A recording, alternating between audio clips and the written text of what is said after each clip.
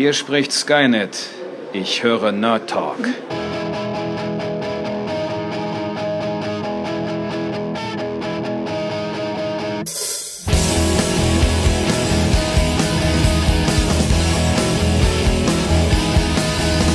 Hallo und herzlich willkommen zu einer neuen Sendung von Nerd Talk. Mit dabei ist der Lars. Einen gesegneten guten Abend. Einen wunderschönen guten Abend, lieber Phil, und hallo, liebe Hörer da draußen an den Empfangsgeräten. Willkommen zur am besten vorbereiteten Nerd Talk-Sendung aller Zeiten. ja, vor allen Dingen äh, der am tiefgreifendsten. Also, ich glaube, wir haben noch nie so viel Zeit in die Vorbereitung investiert wie dieses Mal.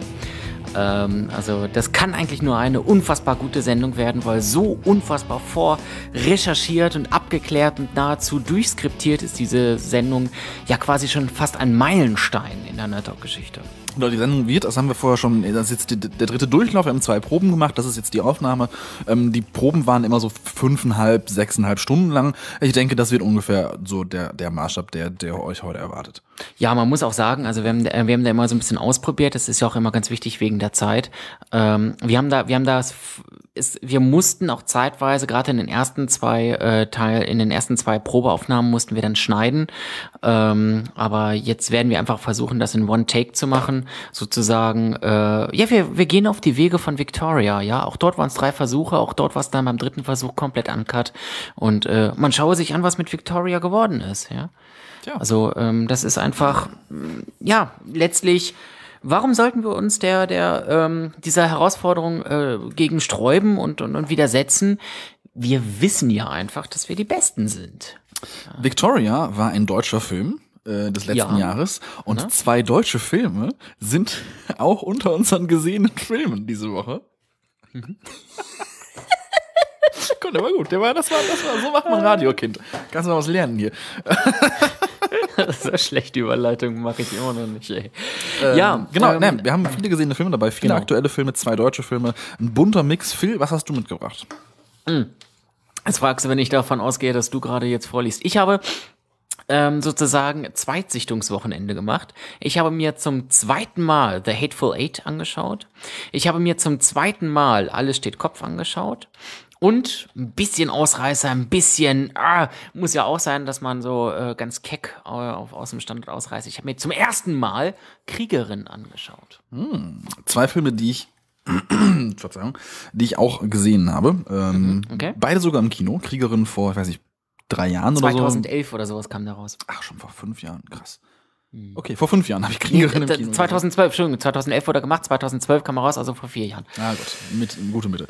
Ähm, genau, ich habe äh, tatsächlich kein kein Zweitsichtungswochenende gemacht, sondern habe äh, ein ein Kinowochen oder äh, habe tatsächlich war mal wieder ein bisschen mehr im Kino ähm, und habe dort drei aktuelle Filme gesehen, nämlich Suffragette, der letzte Woche angelaufen ist, The Big Short zur Oscar-Vorbereitung, der vor einiger Zeit schon angelaufen ist, den du auch gesehen hast, ähm, und The Hateful Eight. Also drei äh, aktuelle Kinofilme. Nehme aufgrund von The Hateful Eight noch das finstere Tal mit auf, den ich im, ähm, im Weihnachtsurlaub schon gesehen hatte.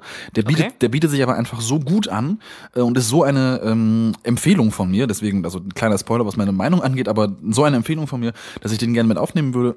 Und ich habe am Wochenende Serenity gesehen, den Kinofilm, der nach dem Abschluss der Serie Firefly äh, dann nochmal irgendwie drei Jahre später, glaube ich, ins Kino kam und kann damit sozusagen den Abschluss Firefly slash Serenity zu dieser Serie von Joss Whedon machen.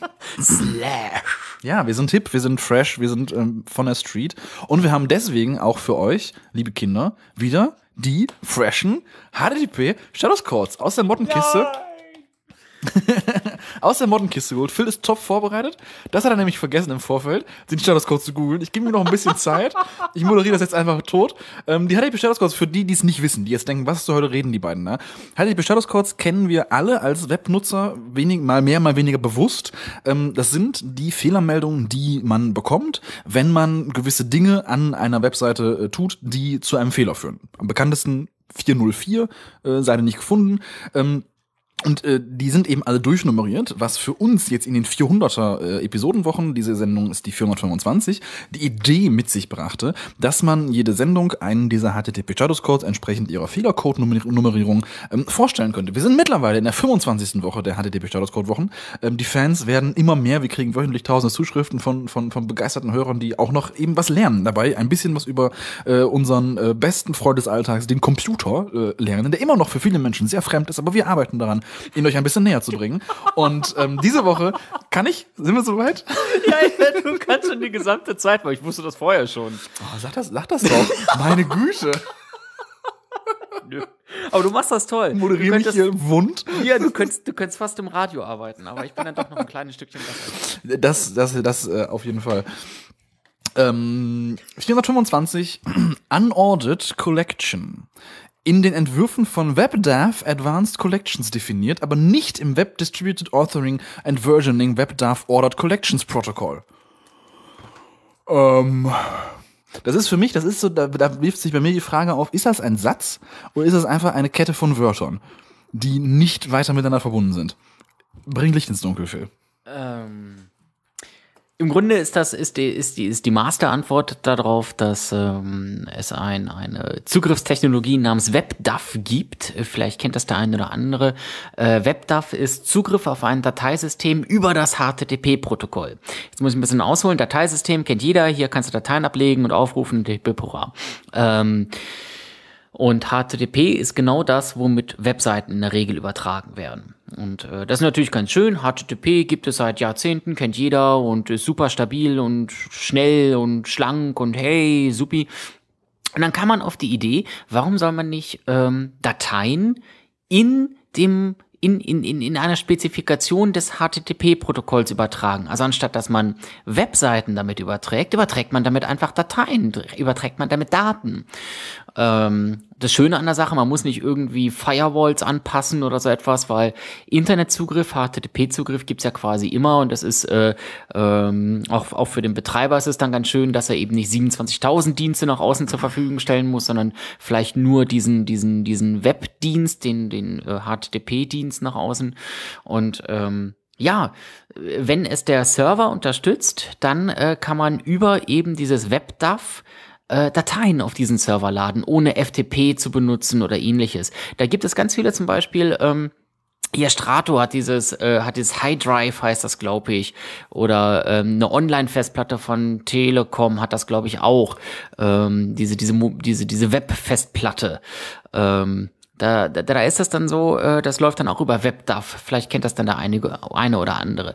Jetzt gibt es da aber auch Standards drinne. So, und wenn äh, jetzt angen wenn jetzt dann dein PC, dein Client irgendwie versucht, Daten darüber zu senden mit den WebDAV Advanced Collections, also eine Erweiterung dieses WebDAV, dieser WebDAV-Kommunikation, der Server, der das aber bekommen soll, diesen ganzen Scheiß gar nicht kennt, ja, dann läuft irgendwie gerade die Kommunikation nicht richtig. Dann sagt der Server, nett, ich verstehe, dass du hier mit WebDAV irgendwie Dateien schreiben willst, aber du schmeißt mir noch viel, viel mehr Schmonz hinterher. Kann ich nichts mit anfangen? Pass mal auf, ich mach dir mal ein Unordered Collection HTTP Status Code 425. Geiler Scheiß. Mhm. Ist also tatsächlich auch etwas, wenn ich es richtig verstanden habe, was man durchaus antreffen könnte. Oder ist das auch sehr, sehr selten? Hm, Wenn stumm läuft, ist das so, ja. Aber eigentlich ist es ja tatsächlich so, man sollte nicht Toffifee während der Nerdtalk-Aufnahme essen. Toffifee ist so, ist so eine super Süßigkeit, die auch einfach nicht sehr lange dauert, bis man sie runtergeschluckt und gekaut hat. Die geht also einen Haps in den Mund und dann ist sie runtergeschluckt. Das klebt nicht fest an den Zähnen zum Glück. Nee, überhaupt nicht. Ich habe auch, ich habe heute auch nur die 24er Packung gekocht. Das wird eine, das wird eine gute Sendung. wird eine, das wird eine zähe Sendung, glaube ich, Phil. Ja, ähm, also äh, ähm, möglich, dass das aufkommt, aber im Grunde sind ja die ähm, Server vernünftig konfiguriert und auch die ähm, die die ähm, Clients, die Programme, womit du Dateien hochladen kannst. Von daher hoffen wir es, es kommt nicht auf, aber ich kann es mir durchaus vorstellen, dass es mal aufkommt. Und dann wisst ihr gleich, Mensch, Nerd Talk Episode 425, was war das genau? Unordered Collection in den Entwürfen von WebDAV Advanced Collections definiert, aber nicht im Web Distributed Authoring and Versioning WebDAV Ordered Collections Protocol. naheliegende. Ist doch naheliegend, genau. Total. Also, dass man echt will, da hätte ich drauf kommen können, sehe ich ein, war nicht meine Glanzleistung. Ich bin einfach, ich bin nicht in Topform heute. Das ist, äh, nein, bin ich tatsächlich wohl. Obwohl ich eben nach Hause kam und dachte so, oh nee, Nerd Talk, ich muss essen, den ganzen Tag Uni gehabt, ich habe keinen Bock. Und jetzt tatsächlich, nach diesem unglaublich dynamischen Sendungseinstieg, ähm, bin ich ganz zuversichtlich, dass das eine super Sache wird. Äh, super wird, Ich muss da was reinwerfen. ja, gerne, sorry, Ähm, ich wollte dich gar Wer, nicht. genau, fiel mir gerade eben ein, haben wir schon vor einigen Sendungen gefunden, haben es nur noch nicht erwähnt. Hm, Wer mal die HTTP-Statuscodes auf eine etwas andere Art dargestellt haben möchte, ähm, darf gerne mal die Webseite http, http-statusdocs.com aufrufen. Mm, Dort sieht man äh, jeden HTTP-Statuscode, auch die 200er und die 300er und die 500er, ähm, mit Hunden dargestellt. Eine Analogie mit Hunden. Und äh, da sind sehr, sehr süße äh, Dings mit drin, sehr, sehr süße Bilder mit drin. Und wer die äh, Funktion und die, die Statuscodes tatsächlich dann kennt, der wird dann auch tatsächlich erkennen, dass diese Bilder durchaus passend sind und wird sich in die Ecke schmeißen. Sei es, weil er die, das so unfassbar süß findet oder eben auch so richtig gut treffend. Werden wir euch natürlich verlinken. Äh, schaut mal auf nerdtalk.de vorbei oder ruft es direkt auf http-statusdocs.com. Ja, sehr gut, vor allem für Menschen, die Hunde tendenziell mögen.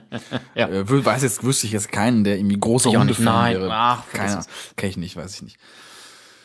Ähm, ein lang erwarteter Film läuft diese Woche im Kino an. Zumindest ein Film, die, also der, den ich jetzt persönlich gar nicht so lange erwartet habe, der aber, ähm, wenn man so im, im ähm, im Internet auch gerade in den letzten Jahren eigentlich schaut, so seit zwei Jahren oder so, seitdem er angekündigt ist, dreht da irgendwie die Netzgemeinde völlig am Schlappen und freut sich auf diesen Film. Es Und endlich sich, kommen die wilden Kerle 6 ins Kino. genau, seitdem so, kommen die echt heute ins Kino? Äh, morgen? Ja. Das habe ich echt völlig übersehen. Die wilden Kerle, die Legende lebt. Ja, Phil, erzähl uns doch ein bisschen was zu die wilden Kerle, die Legende lebt. Worum geht's denn da? Es geht darum, dass die alten wilden Kerle, die ja von den Ochsenknichts ähm, gespielt wurden, ähm, jetzt so langsam die Legenden geworden sind und sich aus dem regulären Fußballspiel zurückgezogen haben. Jetzt gibt es die neuen wilden Kerle. Mm, äh, ähm, jetzt muss ich kurz mal gucken. Leo, Elias, Finn, Oscar, Matze Heißen und Joshua. In, das sind, das sind so echt, so, das sind diese Namen von Jungs aus Kinderbüchern. Leo, Elias, Finn, Oskar, Matze, Leon, Marlon. ah, nee, Marlon ist noch, ah, nee, Leon und Marlon sind aus der alten Rio noch. Genau, das, das sind, Ich, das, aber ähm, wir haben gerade zwei ähm, neue, neue, also wir haben zwei Kollegen, die bei uns auf der Arbeit geworfen haben. Und ähm, geworfen haben. Den, den eine, der eine heißt Ferdinand und der andere heißt Kurt. Man muss aber ergänzen, Kurt Lennig. Kurt Lennig. Finde ich auch. Ist, ist Also- so ein, das ist so ein TKKG-Bösewicht-Name. Kurt Lennig. Kurt Lennig, der Diamantenräuber oder so. Ja, das ist natürlich auch geil. So habe ich das auch noch nicht gesehen. Also Lennig kannte ich nicht, aber man ist ja offen für neue Namen. Ja, in diesem Fall sind es fünf andere Namen und äh, die streben nach den großen Vorbildern und es geht natürlich darum, den Spirit der wilden Kerle weiterleben zu lassen und ähm, ja, natürlich gegen die bösen anderen Fußballspieler, die es da irgendwie auch noch gibt, antreten zu lassen. Übrigens an einer der peinlichsten, ich suche das raus, einer der peinlichsten Vor Trailer, Teaser, die ich je gesehen habe. Das ist Fremdschämen Deluxe für die armen, armen Kiddies, die gar nicht wissen, was sie sich da antun. Die werden sich in zehn Jahren in Grund und Boden schämen. Ich suche diesen Trailer, Pre-Teaser da mal heraus. Ähm, Der jetzt ist ziemlich furchtbar. Ich habe hab den Trailer gesehen, sogar vor, vor ein paar Wochen, als der im Kino lief. Ja, ähm, Ähm, ja, das ist schon ziemlich unterirdisch. Also ich war nie ein Fan der wilden Kerle. Ich habe die Filme nie gesehen, habe mich alles nicht gereizt. Ähm, ich war bei den Büchern war ich eigentlich genau in dem Alter, habe auch glaube ich zwei drei dieser Bücher sogar gelesen.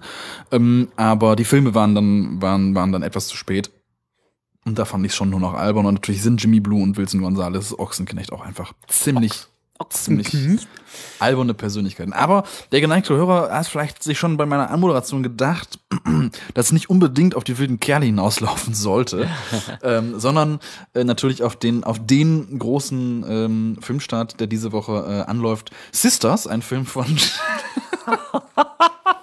Ein Film von Jason Moore mit Amy Poehler und Tina Fey in den Hauptrollen. Eine Komödie, die, ähm, glaube ich, bisher noch gar keine Wellen geschlagen hat, relativ durchwachsene Kritiken bekommt, ähm, wo es um zwei Schwestern geht, die ähm, irgendwie nach so in ihren, in ihren 30ern oder so in ihre Heimatstadt ähm, zurückkehren und feststellen, die Eltern wollen die das das das das das das das das, äh, das Haus verkaufen die äh, und ähm, äh, das ist natürlich was was die beiden nicht akzeptieren können und ähm, wollen jetzt noch einmal ihre ganze Jugend aufleben lassen und in ihrer alten Heimatstadt richtig hart einen drauf machen und feiern.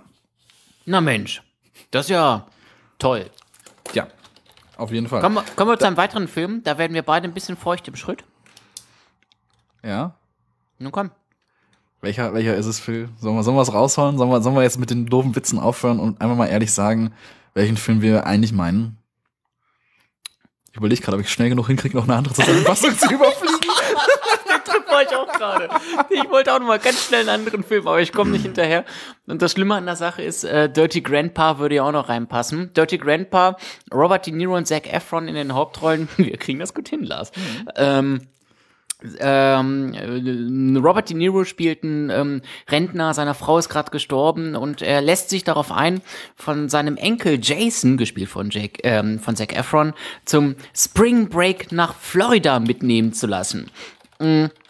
Und äh, wenn man so denkt, der Rentner ein bisschen vorsichtig und zurückhaltend, ähm, ganz im Gegenteil, da macht Robert De Niro jetzt gerade so richtig einen drauf, wird pervers und ähm, lässt seine absolute Geilheit da raushängen und ähm, sorgt da natürlich dann für manches Aufsehen auf dem Spring Break, aber natürlich auch ähm, dem Zuschauer gegenüber, weil es natürlich ein unfassbarer Bruch ist zwischen ähm, diesem alten, gehobenen Rentner. Gerade vor kurzem haben wir noch ähm, über Rod, Robert De Niro in ähm, Man lernt nie ausgesprochen, wo er wirklich einen edlen und vom äh, sehr bodenständigen äh, Menschen sprach. In Dirty Grandpa ist es dann das krasse Gegenteil. Da lässt er so richtig die Sau raus und ähm, die Trailer sehen echt unterirdisch und pervers aus. Ich freue mich trotzdem oh, richtig. Ich benutze Echt? viel das Wort unfassbar. Ähm, ich freue mich richtig auf diesen Film, weil das ist so, weiß ich nicht, ist, das ist ein ganz, Nee, ganz schlimmer. Humor. Ich würde mir das niemals, nie nicht angucken. Aber dieser Trailer spricht mich an. Ich weiß nicht warum. Er ist, glaube ich, sogar mehrfach für die, für die Goldene Himbeere nominiert, meine ich. Oder zum, Egal. oder, bitte? Egal. Aber und, und also ich, nee, kann ich nicht ganz nachvollziehen, ist tatsächlich ein Trailer, der mich schon richtig abturnt, ähm, ist ein Humor, mit dem ich grundlegend schon was anfangen kann, aber das Gefühl habe, was der Trailer zumindest verrät, dass das Oh, diese Dann- Bienenszene ist doch geil, Alter. Ich will die Biene anfassen, ich will die Biene anfassen. Los, ich will die Biene. Ich schmeiß mich jedes Mal weg. Nee, nee.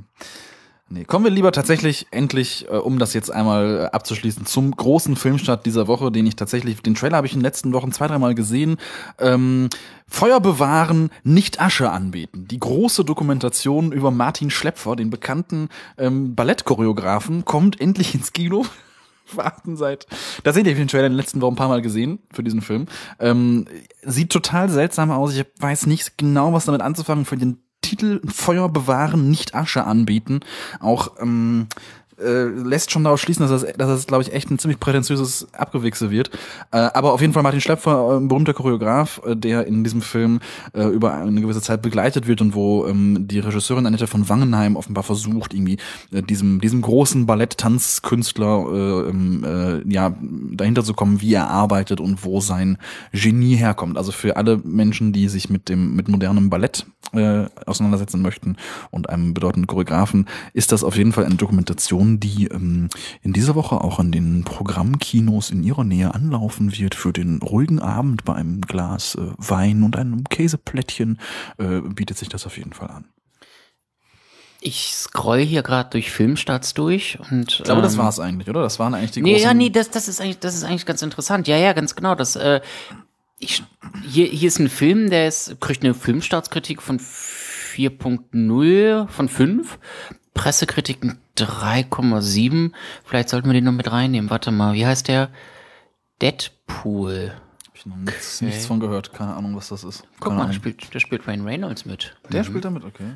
Ja, okay, warte mal. Ist, äh, nee, sagt mir, sagt mir so. Nein, also wir haben, jetzt machen wir ihn größer, als er ist. Also So, so gigantisch ist der Film doch eigentlich, eigentlich auch wirklich nicht, dass wir ihn jetzt so aufblähen hätten müssen, aber irgendwie bot er sich an. Ähm, Deadpool kommt endlich ins die neue Verfilmung von Jawohl, Marvel. endlich. Und ich glaube, da kannst du am besten was zu sagen. Nicht schlecht, nicht schlecht, der Dolkemeier. Er weiß, dass ich gerade den Kinotipp für Leinherz just in diesem Moment oder quasi vor fünf Minuten abgeschlossen habe. Es geht um Wade Wilson, gespielt von Ryan Reynolds. Er ist äh, Söldner und verbringt schon an sich seine Zeit am liebsten im Puff. Ja, und dann wird bei ihm Krebs festgestellt, in nahezu allen Organen. Und er sagt sich, Mensch, was kostet die Welt? Dann lasse ich mich eben auf ein ziemlich skrupelloses Experiment ein. Ähm, läuft, er hat danach Selbstheilungskräfte, sieht aber aus wie ja, irgendwie so ein verschrumpelter Hoden. Und ähm, dann kommt es auch noch, dass äh, genau dieser skrupellose Experimenteur, der da ähm, ihn da misshandelt hat und miss, miss, missraten hat, sich auch noch an seine äh, Freundin ranmacht. Und da dreht Wade Wilson jetzt in der in dem Kostüm von Deadpool total durch und äh, sinniert nach Rache, sowohl seiner äh, seiner Optik wegen, aber natürlich auch seiner Freundin wegen.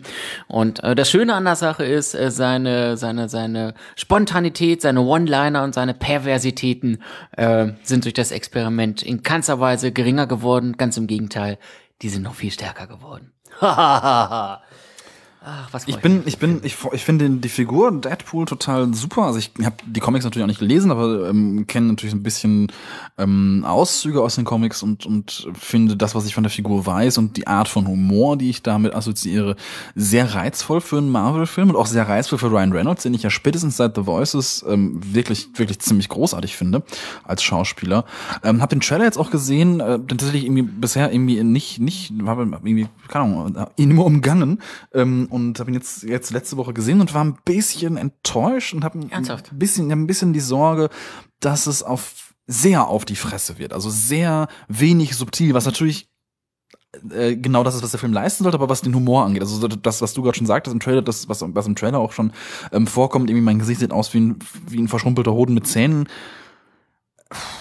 Ist eine Nummer too much. Also das fun funktioniert, finde ich, dann nicht mehr, wenn man diesen, äh, also ja, das ist ein Superheld aus dem Marvel-Universum oder, oder aus der, aus dem, aus dem, von, von Marvel, der äh, sich diese, diese Sachen herausnimmt, der irgendwie vulgären Humor hat und so weiter und so fort. Aber ich glaube, da ist, da ist eine ganz, ganz hauchdünne äh, Grenze, die man nicht überschreiten darf, um nicht peinlich zu werden. Und ich habe nach dem Trailer ein bisschen die Sorge, dass genau das passieren wird. Ich bin sehr gespannt. Ich habe leider die Pressevorstellung ähm, verpasst. Ich hab, da, da hatte da keine Zeit und werde ihn, werde ihn aber auf jeden Fall zeitnah nachholen. Ja, ich definitiv auch. Ich freue mich auch un, un, un, unfassbar. Alter, ich werde schon auf Arbeit mit diesem Begriff aufgezogen. Sehr auf diesen Film. Ähm, und ich sehe das überhaupt nicht übertrieben. Ich finde das sogar geradezu reizvoll. Du hast dann äh, äh, Superhelden und eigentlich verbindest du so mit Superhelden Ehre, Stil und Etikette und weiß ich nicht alles. Und er bricht mit allen diesen Konventionen und äh, schlägt die krasse Gegenrichtung ein. Und äh, ja, benennt einfach alles beim Namen, sagt, ich sehe aus wie ein äh, verschrumpelter Hoden mit Zehen, sagt, oh geil, das war ein geiler Kampf, heute Abend hole ich mir jetzt einen runter. Ja, Das ist, das, du, du sitzt da und denkst nur so, what the fuck? Nee, das hat er jetzt nicht ernsthaft gesagt, oder? Ähm, ich weiß nicht, ob diese Figur und dieser Film dann tatsächlich über zwei Stunden so funktioniert, aber ich kann mir schon sehr gut vorstellen, dass der Humor an sich ganz gut funktioniert. Ähm, wenn man diesen, wenn man ein großer Freund ist dieses Humors, dann noch diese zwei Stunden ähm, dann Spaß haben kann. Wie gesagt, ich bin viel eher gespannt, ob dieses What the fuck Level sich irgendwann abnutzt ähm, und man einfach dann noch tatsächlich davon genervt ist, weil es einfach dieselbe Art von Humor ist, oder ob der Film dann doch äh, skrupellos oder vielleicht kreativ genug ist, immer wieder äh, neue ähm, Impulse in den Film reinzugeben. Ich habe ein bisschen die Sorge, es nutzt sich ab, aber ähm, ja, wir werden, wir werden es sehen. Ich werde ihn auf jeden Fall schauen, genau. Wir werden wahrscheinlich beide bald drüber sprechen, wobei ich jetzt erstmal mit der Berlinale Ja, stimmt, die äh, startet ja oder ist gestartet. Die ist ne? Donnerstag, geht glaube ich. Ich glaube, Donnerstag ist eröffnet. Also heute quasi. Also heu- gest, gestern, genau, ah, heute, genau. Und vor, vor ein paar Tagen, am Montag, ähm, da ist der Vorverkauf gestartet und das Programm ist raus. Und äh, da werde ich tendenziell jetzt da ein paar Filme sehen, auch nicht so viel, aber muss ich schauen, wann. Und tatsächlich ist in Berlin einfach, sind die ganzen Kinos dann dicht und überall läuft nur noch Berlinale. Insofern muss ich dann sehen, wann ich Deadpool ähm, dann nachholen kann. Ich glaube, in den nächsten zwei Wochen wird es etwas schwierig. Trotzdem können wir, ja, ja trot, trotzdem können wir die Zahlen tippen. Für Deadpool und für zwei andere Filme. Oder wolltest du, ich wollte ich wollte dich wirklich nicht abwürgen. Nein, nein, dachte- nein, nein, nein, alles super. Ich wollte auch überleiten. Und das Ja, ist sehr cool, dass wir uns gegenseitig immer wieder ans Wort fallen. Das können wir gut. Ähm, mit irgendwas ist mit den Statistiken nicht in Ordnung. Das Fällt dir jetzt auf, das nur am der vierten Woche. das nur am Rande? Nee. Wieso? Nee, ich meine was anderes, aber können wir nachher, machen wir gleich. Ähm, äh, Dirty Grandpa. Finde ich schwer, Ja. finde ich schwer einzuschätzen. Ähm, äh, 80.000. Ich habe jetzt spontan 56.000 eingegeben. Mhm. Äh, die wilden Kerle 6, die Legende lebt. Ich behaupte tatsächlich, dass dieser Film viele Kiddies ins Kino ziehen wird. Äh, ich war in der, in der letzten Zeit in einigen Kindervorstellungen auch und dort äh, haben die immer total geschwärmt. Ähm, aber ich bin mal mutig, der knackt die 100.000. 125 habe ich jetzt eingegeben. Meinst du wirklich? Hm, kann ich ganz schwer einschätzen, weil ich das Gefühl hätte, dass, dass das eigentlich schon zu lange her ist.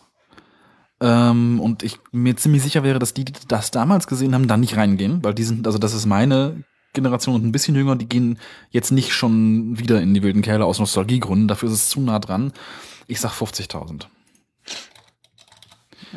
Deadpool. wird richtig rocken. Ähm, ich wünsche ihm sehr, sehr viele Besucherzahlen, aber angesichts der anderen Besucherzahlen, die wir gerade so haben, äh, gehe ich einfach mal mutig auf die 358 und ich glaube, das ist zu viel des Guten. Äh, ich sag, ich sag, ich hatte 300 370 jetzt eingetippt. Ich glaube, ähm, ich finde es auch schwierig. Ich habe mich jetzt ein bisschen an Guardians of the Galaxy orientiert. Der hatte 463 am Startwochenende. Deadpool hat, glaube ich, eine 16er Freigabe bekommen. Ähm, und hat, glaube ich, auch einen Humor, wo einfach auch nicht alle was mit anfangen können, äh, wo, glaube ich, dann also aus beiden Gründen ähm, ein bisschen was abgeht. 370.000 ist, glaube ich, ganz realistisch. Ähm, jetzt muss ich jetzt nicht mal sagen, meine, mein, mein, mein Graph hier, der meine, meine Gesamttippdifferenz anzeigt, Ja. ähm, zeigt für diese Woche 860.000 Gesamtdifferenz an. Ja, ist doch nicht mein Problem. Das stimmt das, aber nicht. Das, stimmt dürfte aber nicht. richtig sein. Nee, das stimmt nicht. Weil die Tabelle darunter zeigt 172.000 Gesamtdifferenz an. Herr Marx, was ist denn da los? Ich habe sogar eine Millionendifferenz. Ach, warte mal, ha, pass mal auf, du musst nämlich das anders sehen. Du musst nämlich unten mal, haha, du musst auch mal geschickt sein. Äh, du darfst nämlich nicht ganz rechts gucken, weil der Marx hat dann nämlich so ein bisschen äh, Mitdenken eingebaut, weil ganz links hast du KW 4, danach KW 3, danach KW 2, danach KW 1, dann Aha. KW 3 und Äh, der Marx hat da ein bisschen Mitdenken eingebaut, ist eine schöne Umschreibung für, du hast es ein bisschen verkackt. Das sieht doch ganz nett aus, oder? Das Das ist so völliger. Schwachsinn. Was denn für, Sehe ich jetzt erst.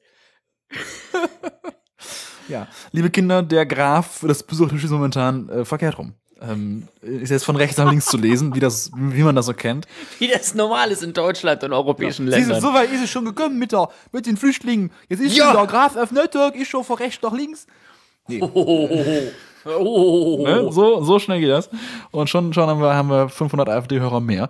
Ähm, nein, Vielleicht pfui- sollten wir was mehr machen, dann haben wir noch mehr Hörer. Furchtbar. Aber ehrlich ganz- sein, die will ich nicht haben. Falls, tatsächlich, falls jemand äh, unseren Hörern ist, der AfD wählt oder AfD mit der AfD sympathisiert, bitte einfach abschalten. Bitte Genau. einfach nicht weiter zuhören. Wir tun uns einen großen Gefallen mit. Das haben wir nicht nötig. Ähm, was, hast, was ist deine Gesamtdifferenz letzte Woche? Ich habe 172.642. 169.000. Das heißt, Oh, wir liegen fuck gerade mal you. 3.000 Dein nebeneinander. Dein Ernst? Deswegen muss ich jetzt einen Euro zahlen für 3000 falsch getippte. Ja. Ähm, man muss auch sagen, wir hatten letzte Woche drei Filme zu tippen. Robinson Crusoe, Chiller of Duty, die Tatortverfilmung und Gänsehaut. Ähm, Robinson Crusoe hat 129.000 Besucher ins Kino gezogen. Die Tatortverfilmung im Kino Chiller of Duty weniger, nämlich 109.000. Das hätte ich echt nicht gedacht, dass das, dass nicht. dass das ähm, Ding so groß startet, Robinson Crusoe. Ich hätte auf jeden Fall gedacht, dass Chiller of Duty ähm, die Kinocharts rocken wird, aber ist definitiv nicht eingetreten. Aber Gänsehaut hat respektable 87.000 Leute am äh, Startwochenende ins Kino gejagt. Das hätte ich wiederum auch nicht gedacht. Was jetzt das auf, äh, auf das Ranking in den Charts macht oder so etwas, ähm, können wir euch nicht sagen, weil wir ähm, relativ früh schon aufnehmen. Äh, wir nehmen nicht am Dienstagabend auf und die Statistiken werden erst am Mittwoch generiert. Das heißt, äh, sobald ihr unsere galante Stimme in eurem galanten Ohr mit so ein bisschen Ohrenschmalz hört, dann ähm, könnt ihr bereits in die Statistiken reingucken und ihr seid schlauer als wir. Nutzt diesen Vorteil. In der Regel sind wir immer besser, schlauer und äh, intelligenter als ihr. Wir möchten euch aber auch nicht als ganz dumm dastehen lassen. Von daher nutzt den Vorteil, genießt ihn. Die nächsten Jahre werdet ihr dieses Gefühl nicht mehr haben. Hm. Ich habe immer noch Toffifee in der Fresse kleben, ey. Was denn, weil das ist 20 Minuten her, dass du das gegessen hast. Da kann es ja langsam mal runtergeschluckt sein. Zwischenzeit waren nur zwei, vier, sechs. Sechs habe ich schon gegessen. Ah, okay. Naja. Dann fange ich gleich mal an mit einem Film, den ich diese Woche gesehen habe. Über Sehr den gerne. wir letzte Woche sprachen. Du sagst letzte Woche noch, du hast davon noch gar nichts mitbekommen. Ähm, tauchte irgendwie äh, für, für dich jetzt etwas aus, dem, aus der Versenkung auf. Ähm, was gar nicht schlimm ist, weil der tatsächlich ein ähm, Film ist, der, glaube ich, vor allem in England ähm, sehr viel äh, ähm, ähm, sehr viel Beachtung gefunden hat. Das ist ein, ein britischer Independent-Film, der bei den British Independent Film Awards ähm, auch, äh, ich glaube, zwei, drei Preise gewonnen hat. Es handelt sich um Suffragette, ein Film von Sarah Gavran, die mir tatsächlich nichts sagt, äh, der aber, der aber geschrieben wurde von Abby Morgan, der Drehbuchautorin, die äh, unter anderem auch The Iron Lady und Shame ähm, geschrieben hat, die in den letzten Jahren ja auch durchaus äh, Beachtung gefunden haben. Ich bin gerade etwas irritiert, weil es keinen Wikipedia-Artikel für diesen Film gibt. ähm, aber das äh, soll mich nicht daran hindern, äh, zu erzählen, äh, worum es äh, äh, äh, in diesem Film äh, äh, geht. Komm, komm, stürzt die Wikipedia ab oder es gibt keinen Artikel, sind wir quasi blank. Ja, tatsächlich Nackt. tatsächlich äh, nutze ich ja sonst Wikipedia für Filme eigentlich nicht so, aber es ist halt so übersichtlich, dass es für, für Nerd Talk nutze ich das immer gerne, weil da hilft es, finde ich, ist einfach eine gute. So, jetzt habe ich es auch. Ähm, Worum geht es in Suffragette? Suffragette äh, ist eine Bezeichnung, also der Titel des Films Suffragette, äh, der im Deutschen tatsächlich, ich habe das schon ein paar Mal gehört, Suffragette ausgesprochen wird. Ich weiß nicht, wie das in der deutschen Synchrofassung ähm, des Films sind, ob das tatsächlich ein Begriff ist, der im Deutschen so deutsch äh, ausgesprochen wird. Ich bleib mal bei Suffragette, weil ich ihn auch in der OV gesehen habe, deswegen kann ich es nicht beurteilen. Ähm, ist eine Bezeichnung, die äh, eine Frauenbewegung äh, in äh, Großbritannien äh, um in, im, kurz vor dem Ersten Weltkrieg, also 1912 spielt der Film so in der Zeit, äh, äh, eine Bezeichnung, die eben dieser Frauenbewegung gegeben wurde, die sie dann auch, äh, oder glaube, wurde ihnen gegeben und sie haben den angenommen. Also durchaus auch eine abwertende Bezeichnung für Frauen, die sich für das Frauenwahlrecht einsetzen. Und diese Suffragettes ähm, ähm, äh, haben dann haben das versucht in, eben äh, äh, mit mit durchaus gewaltsamen Methoden. Also haben tatsächlich öffentlich protestiert, haben ähm, Schaufenster eingeworfen, haben tatsächlich versucht durch eine durch, ein, durch eine öffentliche ähm, Aktivität und durch, ein, durch einen öffentlichen Widerstand gegen das gegen die gegen die ähm, Politik und gegen die gegen die ja rein zu dem Zeitpunkt rein männliche Politik ähm, äh, zu demonstrieren, um zu zeigen, wir sind ein genauso wichtiger Teil der Bevölkerung wie ihr. Und es gibt kein Wahlrecht für Frauen, weder passiv schon gar nicht und aktiv auch nicht. Und das muss geändert werden, was natürlich auf wenig Begeisterung gestoßen ist ähm, bei den männlichen äh, Politikern und ähm, auch bei den Adligen in England ja zu der Zeit. Und dieser Film begleitet nun Maud, äh, die gespielt wird von Carrie, von der wunderbaren Carrie Mulligan, eine ähm, Wäscherin in einem großen industriellen Wäschereibetrieb. Ähm, also Anfang 20 hat einen kleinen Jungen, äh, ein Ehemann ist eigentlich total zufrieden mit ihrem Leben, ist im Grunde in dieser Wäscherei aufgewachsen und stellt dann eines Tages fest, okay, hier Frauen schmeißen irgendwie Frauen die Scheiben ein und eine Arbeitskollegin von mir erzählt irgendwie was von Frauenwahlrecht, okay, und fängt an, sich damit zu beschäftigen und stellt fest, hey, äh, fuck you, natürlich brauchen wir ein Frauenwahlrecht, kann ja wohl nicht sein. Und ähm, so beobachten wir also ihren Weg, wie sie in diese Bewegung ähm, äh, mit aufgenommen wird, wie sie mit diesen, mit den anderen Frauen zusammen demonstrieren geht und wie dieser Protest immer weiter eskaliert und sehen sozusagen über diese fiktive Figur der Mord diese durchaus realhistorischen Ereignisse um dieses Suffragette Movement ähm, und deren Aktionen und deren Probleme und Hürden in eben äh, der, der Gesellschaft, die sie versuchen zu verändern und aus der sie versuchen, ein Frauenwahlrecht oder in der sie versuchen, ein Frauenwahlrecht möglich zu machen. Das ist ganz spannend. Ich habe, äh, also du sagst ja selber, der Film ist jetzt nicht so in der Breite und auch nicht so bekannt. Trotz alledem habe ich äh, ein, eine, eine, eine Bekannte, die äh, in den Film reingegangen ist und auf Twitter ein Kurzfazit abgegeben hat. Äh, es heißt heftig, was die Frauen damals auf sich nahmen, um für Gleichberechtigung zu kämpfen. Danke dafür.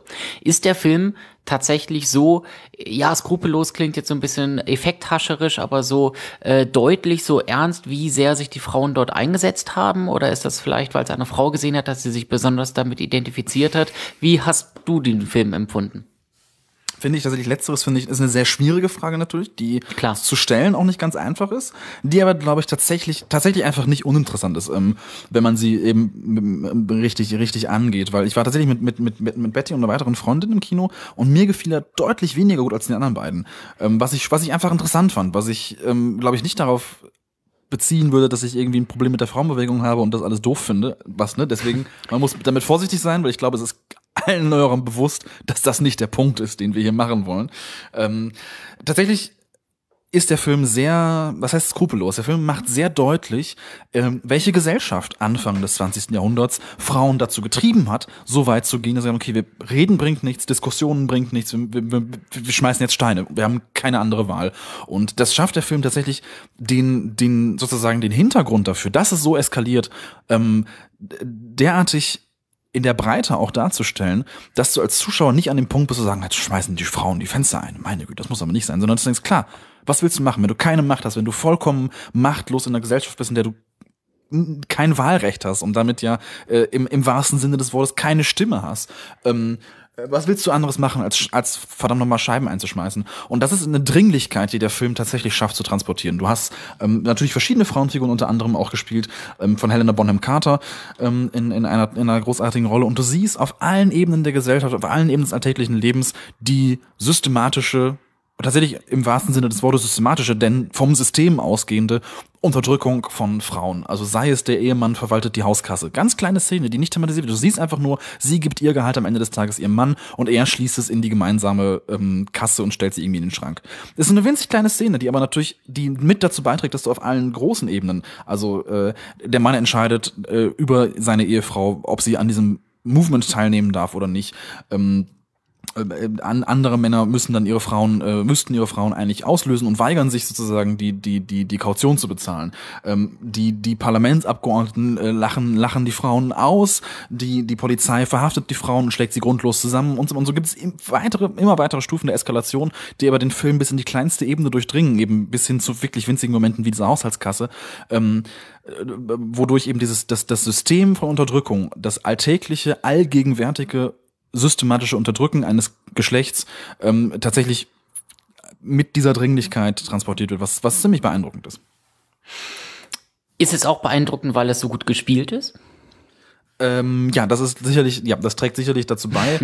ähm, Helena Bonham Carter, brauchen wir nichts zu sagen, ist einfach eine großartige Schauspielerin. Carrie Mulligan genauso. Meryl Streep spielt in, in nur einer sehr kleinen Szene mit, aber sie spielt die Anführerin ähm, dieser Bewegung, die auch tatsächlich historisch ähm, ähm, historisch natürlich verbürgt ist, äh, Emmeline äh, Pankhurst, äh, die, die also äh, tatsächlich diese Frauenbewegung, äh, die, dieses Suffragette Movement ähm, angeführt hat. Es sind alles fantastische Schauspielerinnen, die auch genau diese Verbitterung zeigen, die zeigen, dass es, ähm, dass es, dass es, wie, wie sehr das dich fertig macht, wenn du jeden Tag wieder aufstehst und äh, in einer Gesellschaft lebst, die dich als ein minderwertiges, ähm, Geschlecht, die, die dein Geschlecht als ein minderwertiges Geschlecht wahrnimmt, die dich damit als minderwertige Person oder als als minder bemittelte Person. Also ich meine, die, die, auch die Argumente, die damals dann geführt wurden, die man hier im Film natürlich einfach so, wie sie da ausgesprochen wurden, auch auch auch entgegengeworfen bekommt. Also Frauen sind gar nicht reflektierend und intelligent genug, um um Wahlrecht zu haben. Die werden damit völlig überfordert. Man muss die man muss die Frauen im Grunde vor sich selber schützen, weil sie einfach zu dumm sind zu wählen. Ist halt so, meine Güte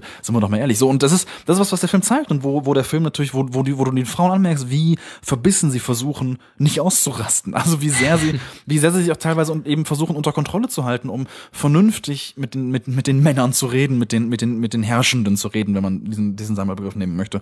Und das ist ziemlich beeindruckend und schafft eben eine gewisse Tiefe im Spiel, die auch genau auf diese Dringlichkeit hinweist, auf dieses, dieses, diese elementare Notwendigkeit für Gleichberechtigung, die der Film natürlich ähm, zum, zum Ziel hat. Kommt das Ziel denn auch tatsächlich so an? Also äh, mehr, wirkt der, das ist eine interessante Frage.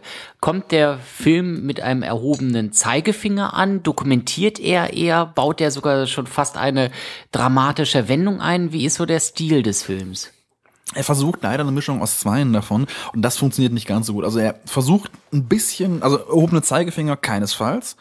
Er zeigt einfach, das war Anfang des 20. Jahrhunderts. Ich meine, ne, das, da, da braucht man auch nicht mit dem Zeigefinger kommen. Das Frauenwahlrecht ist in, zumindest in England, in, in, in Westeuropa erreicht. Es gibt am Ende des Abspanns eine schöne, oder vor dem Abspann gibt es eine schöne Liste, wo einfach durchläuft, welche Länder wann das Frauenwahlrecht dann auch tatsächlich bekommen haben. In England hat es noch bis, bis 1928, glaube ich, gedauert. In Deutschland war es irgendwie 30er, glaube ich.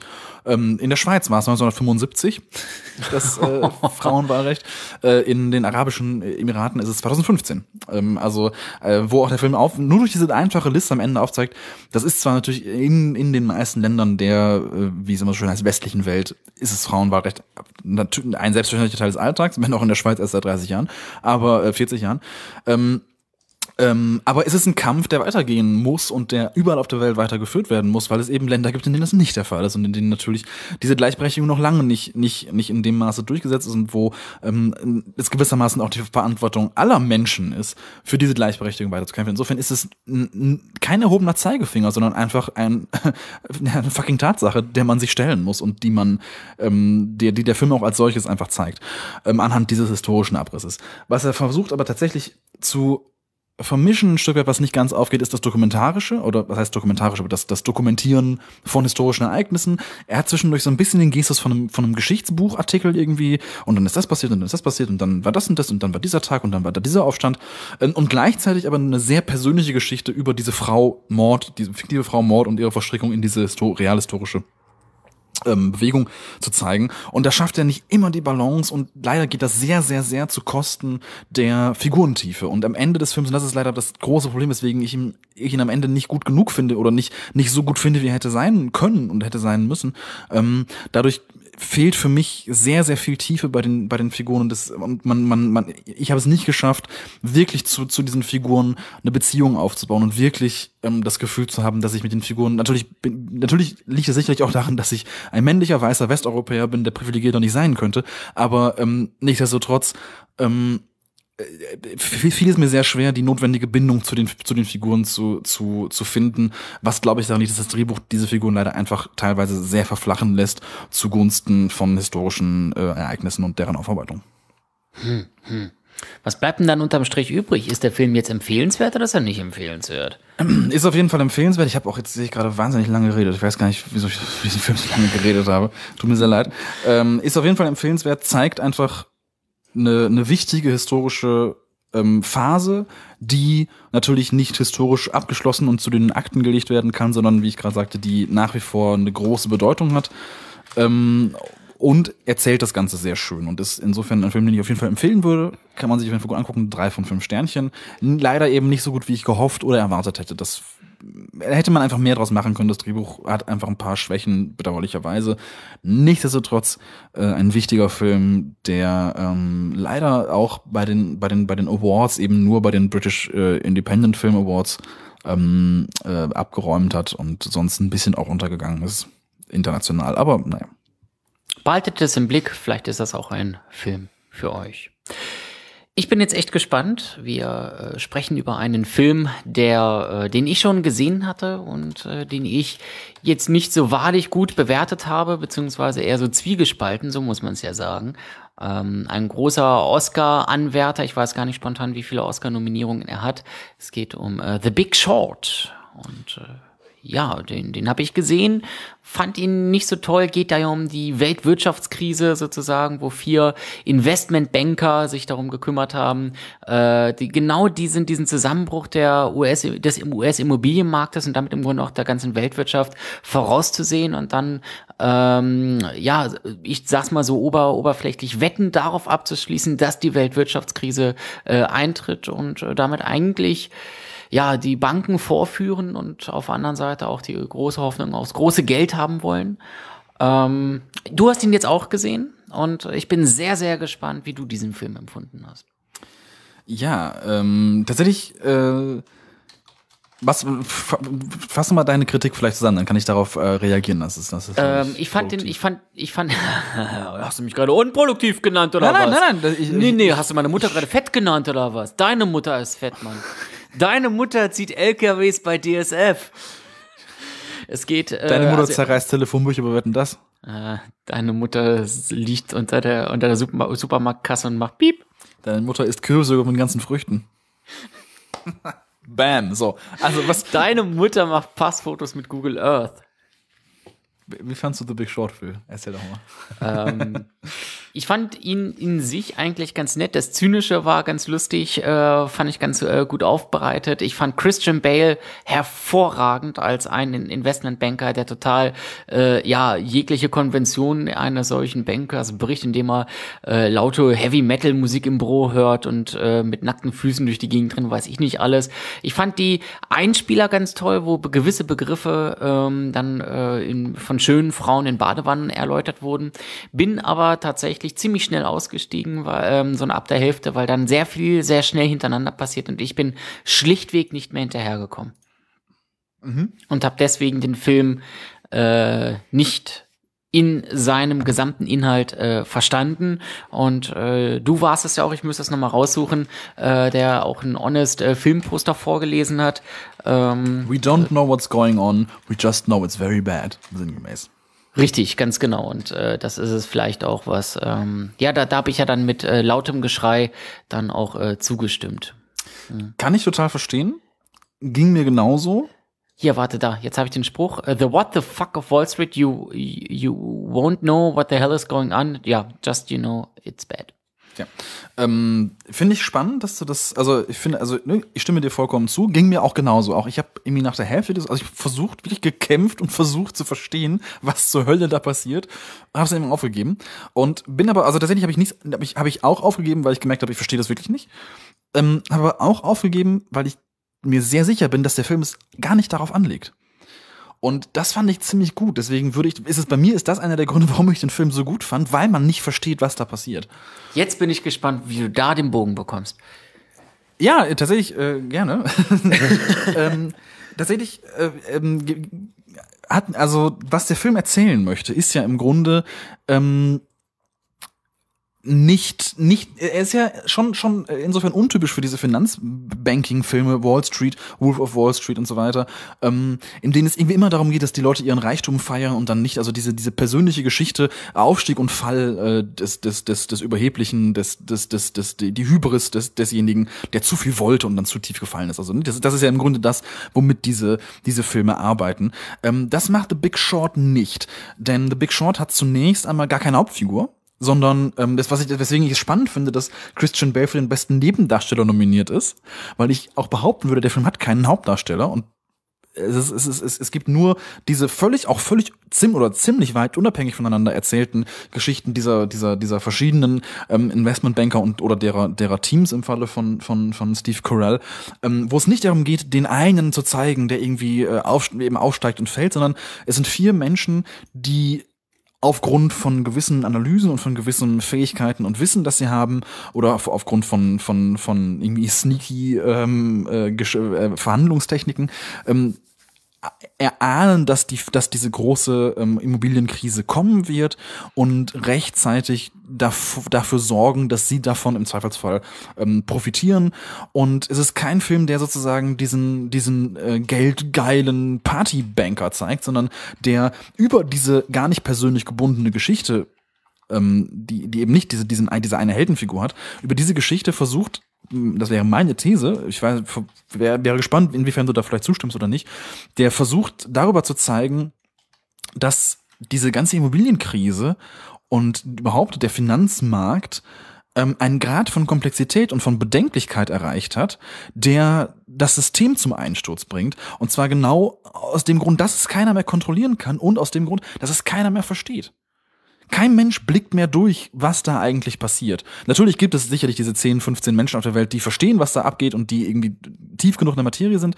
Aber das ist ja etwas, was man auch in den, in den, in den Jahren seit, seit 2007 immer wieder durchgekauten. Was ist da schiefgelaufen? Wo waren die Probleme? Wer war schuld? Artikeln und Aufbereitungen und Dokus und so weiter immer wieder, immer wieder als Feststellung hatte. Das ganze System ist so hochkomplex, dass da kaum jemand durchsteigt nicht mal die Menschen, die darin agieren, also die Banker selber. Und natürlich ist es auch eine pauschalisierende Aussage und natürlich vereinfacht das, das Ganze auch ein Stück weit. Aber ich glaube, das ist das, was der Film zeigen möchte. Und auch mit dem Ausblick am Ende, dem Abspann, ähm, im Grunde genau das, das zeigt. Das ist, das ist nichts, was sich kontrollieren lässt. Das System ist so groß geworden und es ist so abstrakt. In dem Moment, wo Geld entsteht, was nicht real existiert, haben wir echt verdammt was falsch gemacht und sollten uns dringend Gedanken darüber machen, wie wir die Kontrolle darüber zurückerlangen können. Und ich glaube, dass es deswegen ähm, der gar nicht der Punkt des Films ist, dem Zuschauer das verständlich zu machen. Ich stimme dir häufig bei Thesen zu, bei dieser nicht.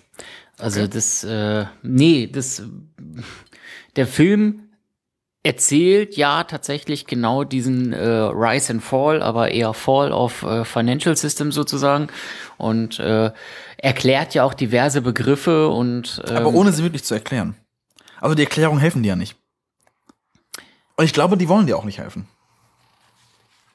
Ja, äh, siehst du jetzt tatsächlich äh, The Big Short als einen äh, großen Kunstfilm an, der äh, mit vielen guten Leuten besetzt ist, der äh, Begriffe ja trotzdem erklärt und als zentralen Punkt des äh, Fallen der Weltwirtschaftskrise hat, äh, der, jetzt muss ich gucken, zwei Stunden, zwei Stunden elf läuft und als Ziel hat, den Zuschauer so zu verwirren, ähm, dass er verwirrt aus dem Kino rausgeht?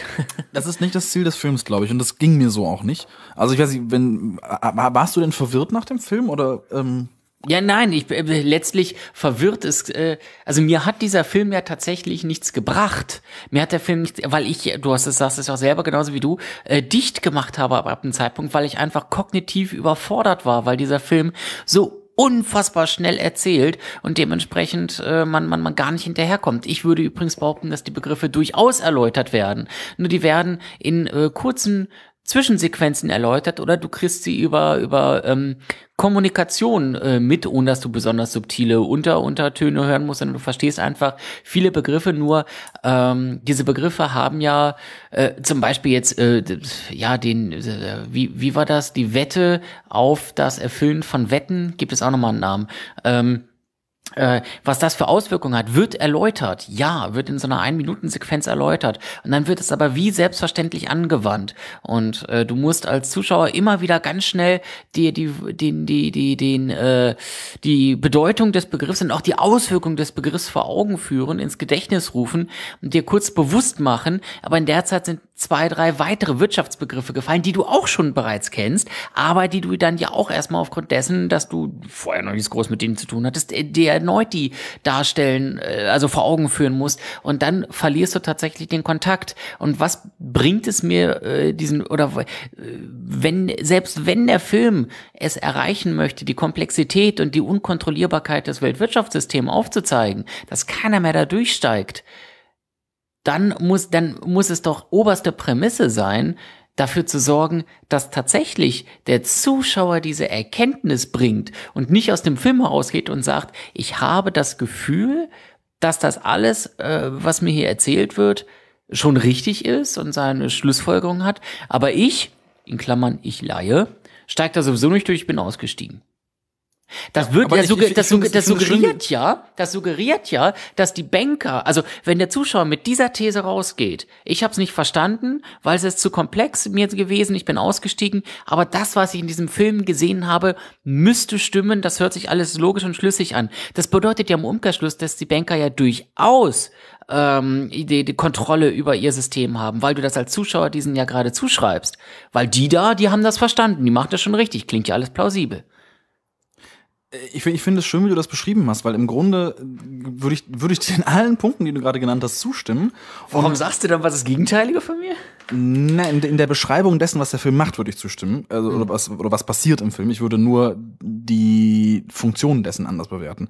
Ähm, denn was du gerade beschrieben hast, ist, ja, beschreibt wunderbar die Rhetorik des Films, die nämlich genau so funktioniert, wie ähm, die, die Rhetorik der, der Bankmenschen in diesem Film und tatsächlich auch die Rhetorik, die dazu geführt hat, so der Film zumindest, wenn ich seine These ähm, da äh, daraus lese, ähm, dass die Krise so weit kommen konnte. Du hast Hypothekenmakler, die dir Hypotheken aufschwatzen. Wie machen sie das? Sie scheißen dich zu mit Fachbegriffen, bis zum Ende nur noch nix und sagst, ja, mh, verstehst kein Wort, aber du nix und sagst, ja, machen wir genau so. Und plups ist die Blase da. Jetzt sehr verknappt natürlich. Mhm. Und das ist was, was der Film, genau wie du gerade sagst, repliziert, indem er zum Beispiel diese nicht, also so und so, hier ist die Metapher, hier sind ganz viele Leute, die wetten alle aufeinander und dann passiert das und das und das und das und dann ist das und das. Auch klar, oder? Und du, ganz, du hast als Zuschauer gar keine Zeit, das zu verstehen. Und ich finde, das ist was, was der Film sehr intelligent macht. Und ich finde, er bricht, also ich finde, er reflektiert oder er macht das sehr deutlich im ersten Moment, äh, schon in der ersten dieser Einspielsequenzen, wo er, wo er kurz einhakt, okay, das lassen wir euch jetzt erklären, von, ähm, äh, äh, wie, wie heißt sie, ähm, ähm, von ähm, äh, der, der Schauspielerin, deren Namen mir entfallen ist, die in Wolf of Wall Street, wird, kein Zufall, bin ich mir sehr sicher, in Wolf of Wall Street die Frau gespielt hat, ähm, in einer Blasen, äh, mit Schaumblasen gefüllten Badewanne. Das ist so abgefahren und so skurril, dass du jetzt versuchst, Finanzbegriffe durch eine halbnackte Frau mit Champagner in der Badewanne erklären zu lassen, dass ich mir absolut sicher bin, dass der Film diese Erklärungen selber nicht ernst nimmt, sondern dir zeigen möchte, auf, auf welcher oberflächlichen Ebene mit Begriffen um sich geworfen wird, die keiner mehr versteht, die keiner mehr durchblickt, was ja der Film selber immer wieder zum Thema macht, dass die Leute selber nicht wissen, wie diese, wie diese Begriffe eigentlich einzeln oder was diese Begriffe eigentlich bedeuten ähm, und diesen hohen Abstraktionsgrad des Finanzsystems und das daraus resultierende Kollabieren dieses Systems, das sich irgendwann natürlich nicht mehr selber tragen kann, ähm, finde ich, schafft der Film durch seine eigene Erzählstruktur und durch seine eigene Rhetorik sehr, sehr ausgezeichnet ähm, zu vermitteln als ein Gefühl, nicht als eine kognitive, nicht als einen kognitiven Verstehensprozess, weil da, wo nichts mehr zu verstehen ist, weil das System so abstrakt ist, dass es einfach de facto nichts mehr, kein Objekt mehr gibt, was dahinter ist, das noch Bedeutung hat oder was, was das Verständnis erfordern könnte, ähm, so dass dem Film gar nichts anderes bleibt, als dieses, als die Finanzkrise nicht zu erklären, sondern sie für dich erfahrbar zu machen. Das Gefühl von Kontrollverlust, von Verständnisverlust, Das von, Problem von einem Überrollen, von, oder von einem überrollt werden. Und das schafft der Film. Die äh, aber der Film stellt ja genau solche Leute dar, die die Finanzkrise durchblickt haben, die sie unter Kontrolle haben, die sie sogar vorausschauen können. Das heißt, wenn man deiner These folgen möchte, muss der Film doch eigentlich die Banker zeigen, die äh, voller Geldgeilheit oder vielleicht sogar tatsächlicher Überzeugung äh, Immobilien verhökern, weil sie sagen, das ist der beste Invest schlechthin und dann knallt ihnen die Weltwirtschaftskrise her ähm, um die Ohren und dann hast du ja tatsächlich die Unkontrollierbarkeit. Das kannst du auch wunderbar aufziehen, irgendein ganz großer Manager oder irgendein großer Konzern. Lehman Brothers ähm, Ja. ist daran ja auch kaputt gegangen. So, dann hätte man doch die Geschichte von Lehman Brothers erzählen können, ähm, die in irgendeiner Form ja auch auf der Blase aufgesetzt, aufgesessen sind, um dann im Grunde auch die Dramatik und Unkontrollierbarkeit des Weltwirtschaftssystems aufzuzeigen. Aber in diesem Fall gibt es vier Stück, die haben es verstanden. Ja, du machst es nur an Figuren fest. Das ist nicht der Punkt. Also der Film Ja, natürlich, der Film sollte mir erzählen, was das Problem ist. Nee. Das ist ja eine sehr, also das ist ja eine, jetzt eine sehr eingeschränkte Sichtweise auf Film, dass es darum geht, dass du, also dass das, was du als Zuschauer empfinden sollst, notwendigerweise auch die Figuren auf dem auf der Leinwand empfinden müssen, ist ja in, in den seltensten Fällen der Fall. Also sonst würden, wo wir gleich noch zu kommen, werden Tarantino-Filme nicht funktionieren, weil du sonst große Schmerzen und große Depressionen erleiden würdest als Zuschauer. Und ähm, also das ist das ist das ist ja glaube ich ein Kurzschluss, die Figurenemotionen auf den Zuschauer zu übertragen. Ähm, und was de facto ja der, der Fall ist, es gibt eine Figur in diesem Film, nämlich Christian Bale, der das durch, durchblickt, der weiß, es wird diese Krise kommen. Alle anderen sind von ihm abhängig. Also keiner von den anderen versteht selber, was da passiert. Sie wissen, dass es kommen wird und sie wetten darauf, weil sie es gehört haben und weil sie es irgendwie nachvollziehen können und nachrechnen können. Aber wirklich durchblickt hat es nur, nur Christian Bale von dem ausgehend, ähm, dass das durchsickert und ja an Informationen weitergegeben wird an die anderen, die nur clever genug sind, darauf zu wetten. Im Grunde hast du damit ja diese Figuren, die, die aus Geldgeilheit agieren und dem Ende ja auch brechen. Ich finde das, das Ende ganz wunderbar. Also es ist kein großer Spoiler, weil, also ich meine, haha, es kommt eine Finanzkrise am Ende des Films, Überraschung. Ähm, äh, wo am Ende ja dann auch, auch, auch eine der Figuren sagt, okay, wenn wir das jetzt wirklich, wenn wir jetzt das, den, den Scheiß hier verkaufen, dann machen wir einen Haufen Geld, aber wir machen dieses Geld mit den Leben von Arbeitslosen und von, von wohnungslosen Amerikanern, die auf, aufgrund derer, derer Verluste wir dieses Geld machen können. Und sind wir damit nicht genauso schlimm wie die Leute, die diese Krise heraufbeschworen haben? Und ähm, das ist schon ein großer Unterschied zu, zu Figur, zu diesem, zu dieser Figur des geldgeilen Bankers, der es durch, der es durch, durch, äh, der es, der es, der es durchblickt hat und, ähm, und so weiter und so fort. Auch die haben das nicht durchblickt. Sie wissen, was passiert und sie wissen, was das Ergebnis ist, aber das wissen wir alle. Das Ergebnis ist Finanzkrise und der Grund dafür ist Immobilienkrise und so weiter. Und ähm, in- insofern, ja, ich, ich, ich kann es, kann dieses Gefühl, also ich, wir haben einfach, glaube ich, ein anderes, äh, eine andere Erfahrung nach dem Film. Äh, äh, inso, insofern ähm, würde ich für mich das auf jeden Fall festhalten, dass der Film mir diese Erfahrung vermittelt und ich glaube, das ist das, ist, was der Film vermitteln möchte. Ja. Geschmäcker sind verschieden, deswegen heißt es Geschmack. Also ich, wie gesagt, ich bleib, ich bleib weiterhin bei meiner Aussage. Ich äh, gehe ja häufig mit dir d'accord und lass mich häufig von dir bekehren.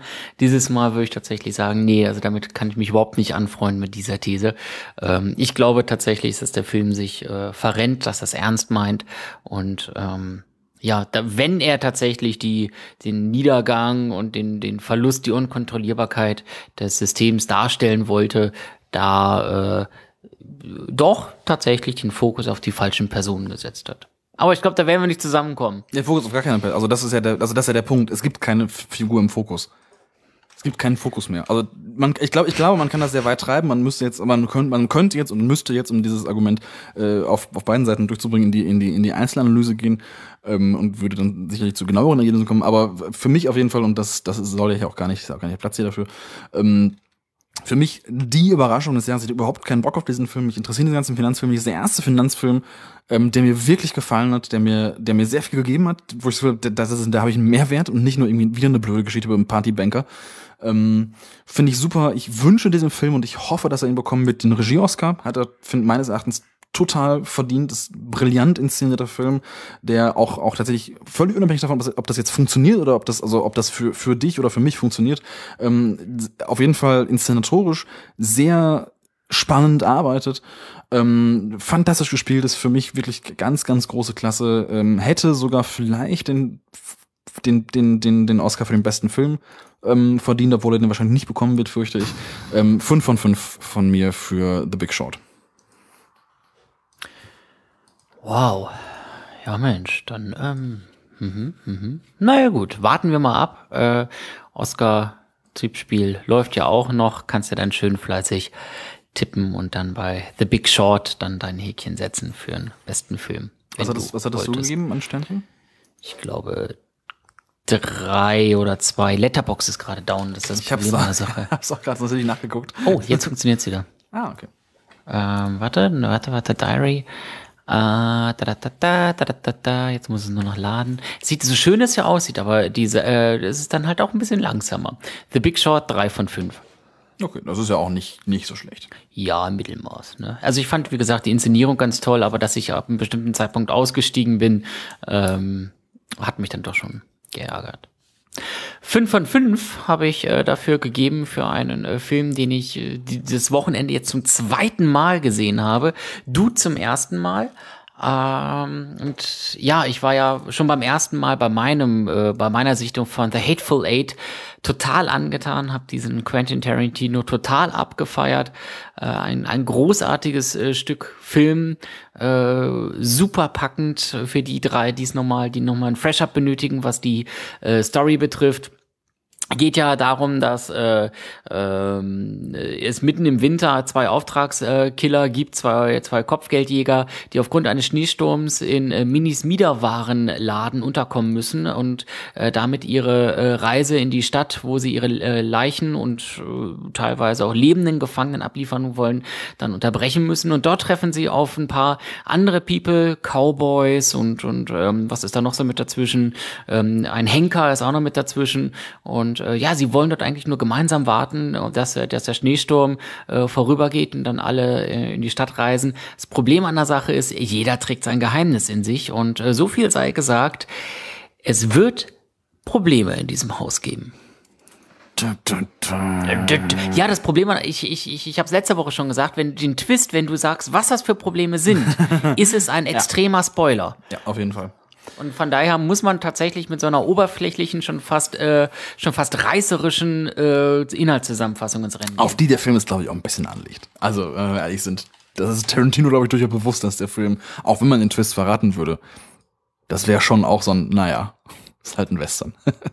ja, aber nein, äh, Lars Definitiv, def, definitiv, definitiv, wir sprechen nicht drüber. Nein, nein, auf keinen Fall, das, das wollte ich damit gar nicht sagen. Aber ja, das würde ich tatsächlich, äh, da würde ich ausnahmsweise den, also könnte ich nachvollziehen, warum Menschen angepisst werden, wenn man ihnen das wegspoilert. Richtig, genau. Ähm, so denn, du hast ihn dir angeschaut.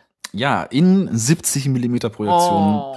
Im Zoopalast in Berlin, äh, in OV mit Untertiteln, wo ich sehr dankbar drüber war. Deutsch also, oder Englisch? OV? Untertitel. Mit, mit Untertitel. Also Untertitel auf Deutsch. Mhm. Was ich nicht so schön finde, aber äh, ist kein Einfluss drauf insofern. Ähm, ja, du hast ihn letzte Woche schon besprochen. Richtig. Ich erinnere mich an eine Höchstwertung. Genau, ich habe dem Film tatsächlich äh, fünf von fünf Sternen gegeben, weil ich ihn hervorragend inszeniert fand, weil ich ihn äh, super packend fand.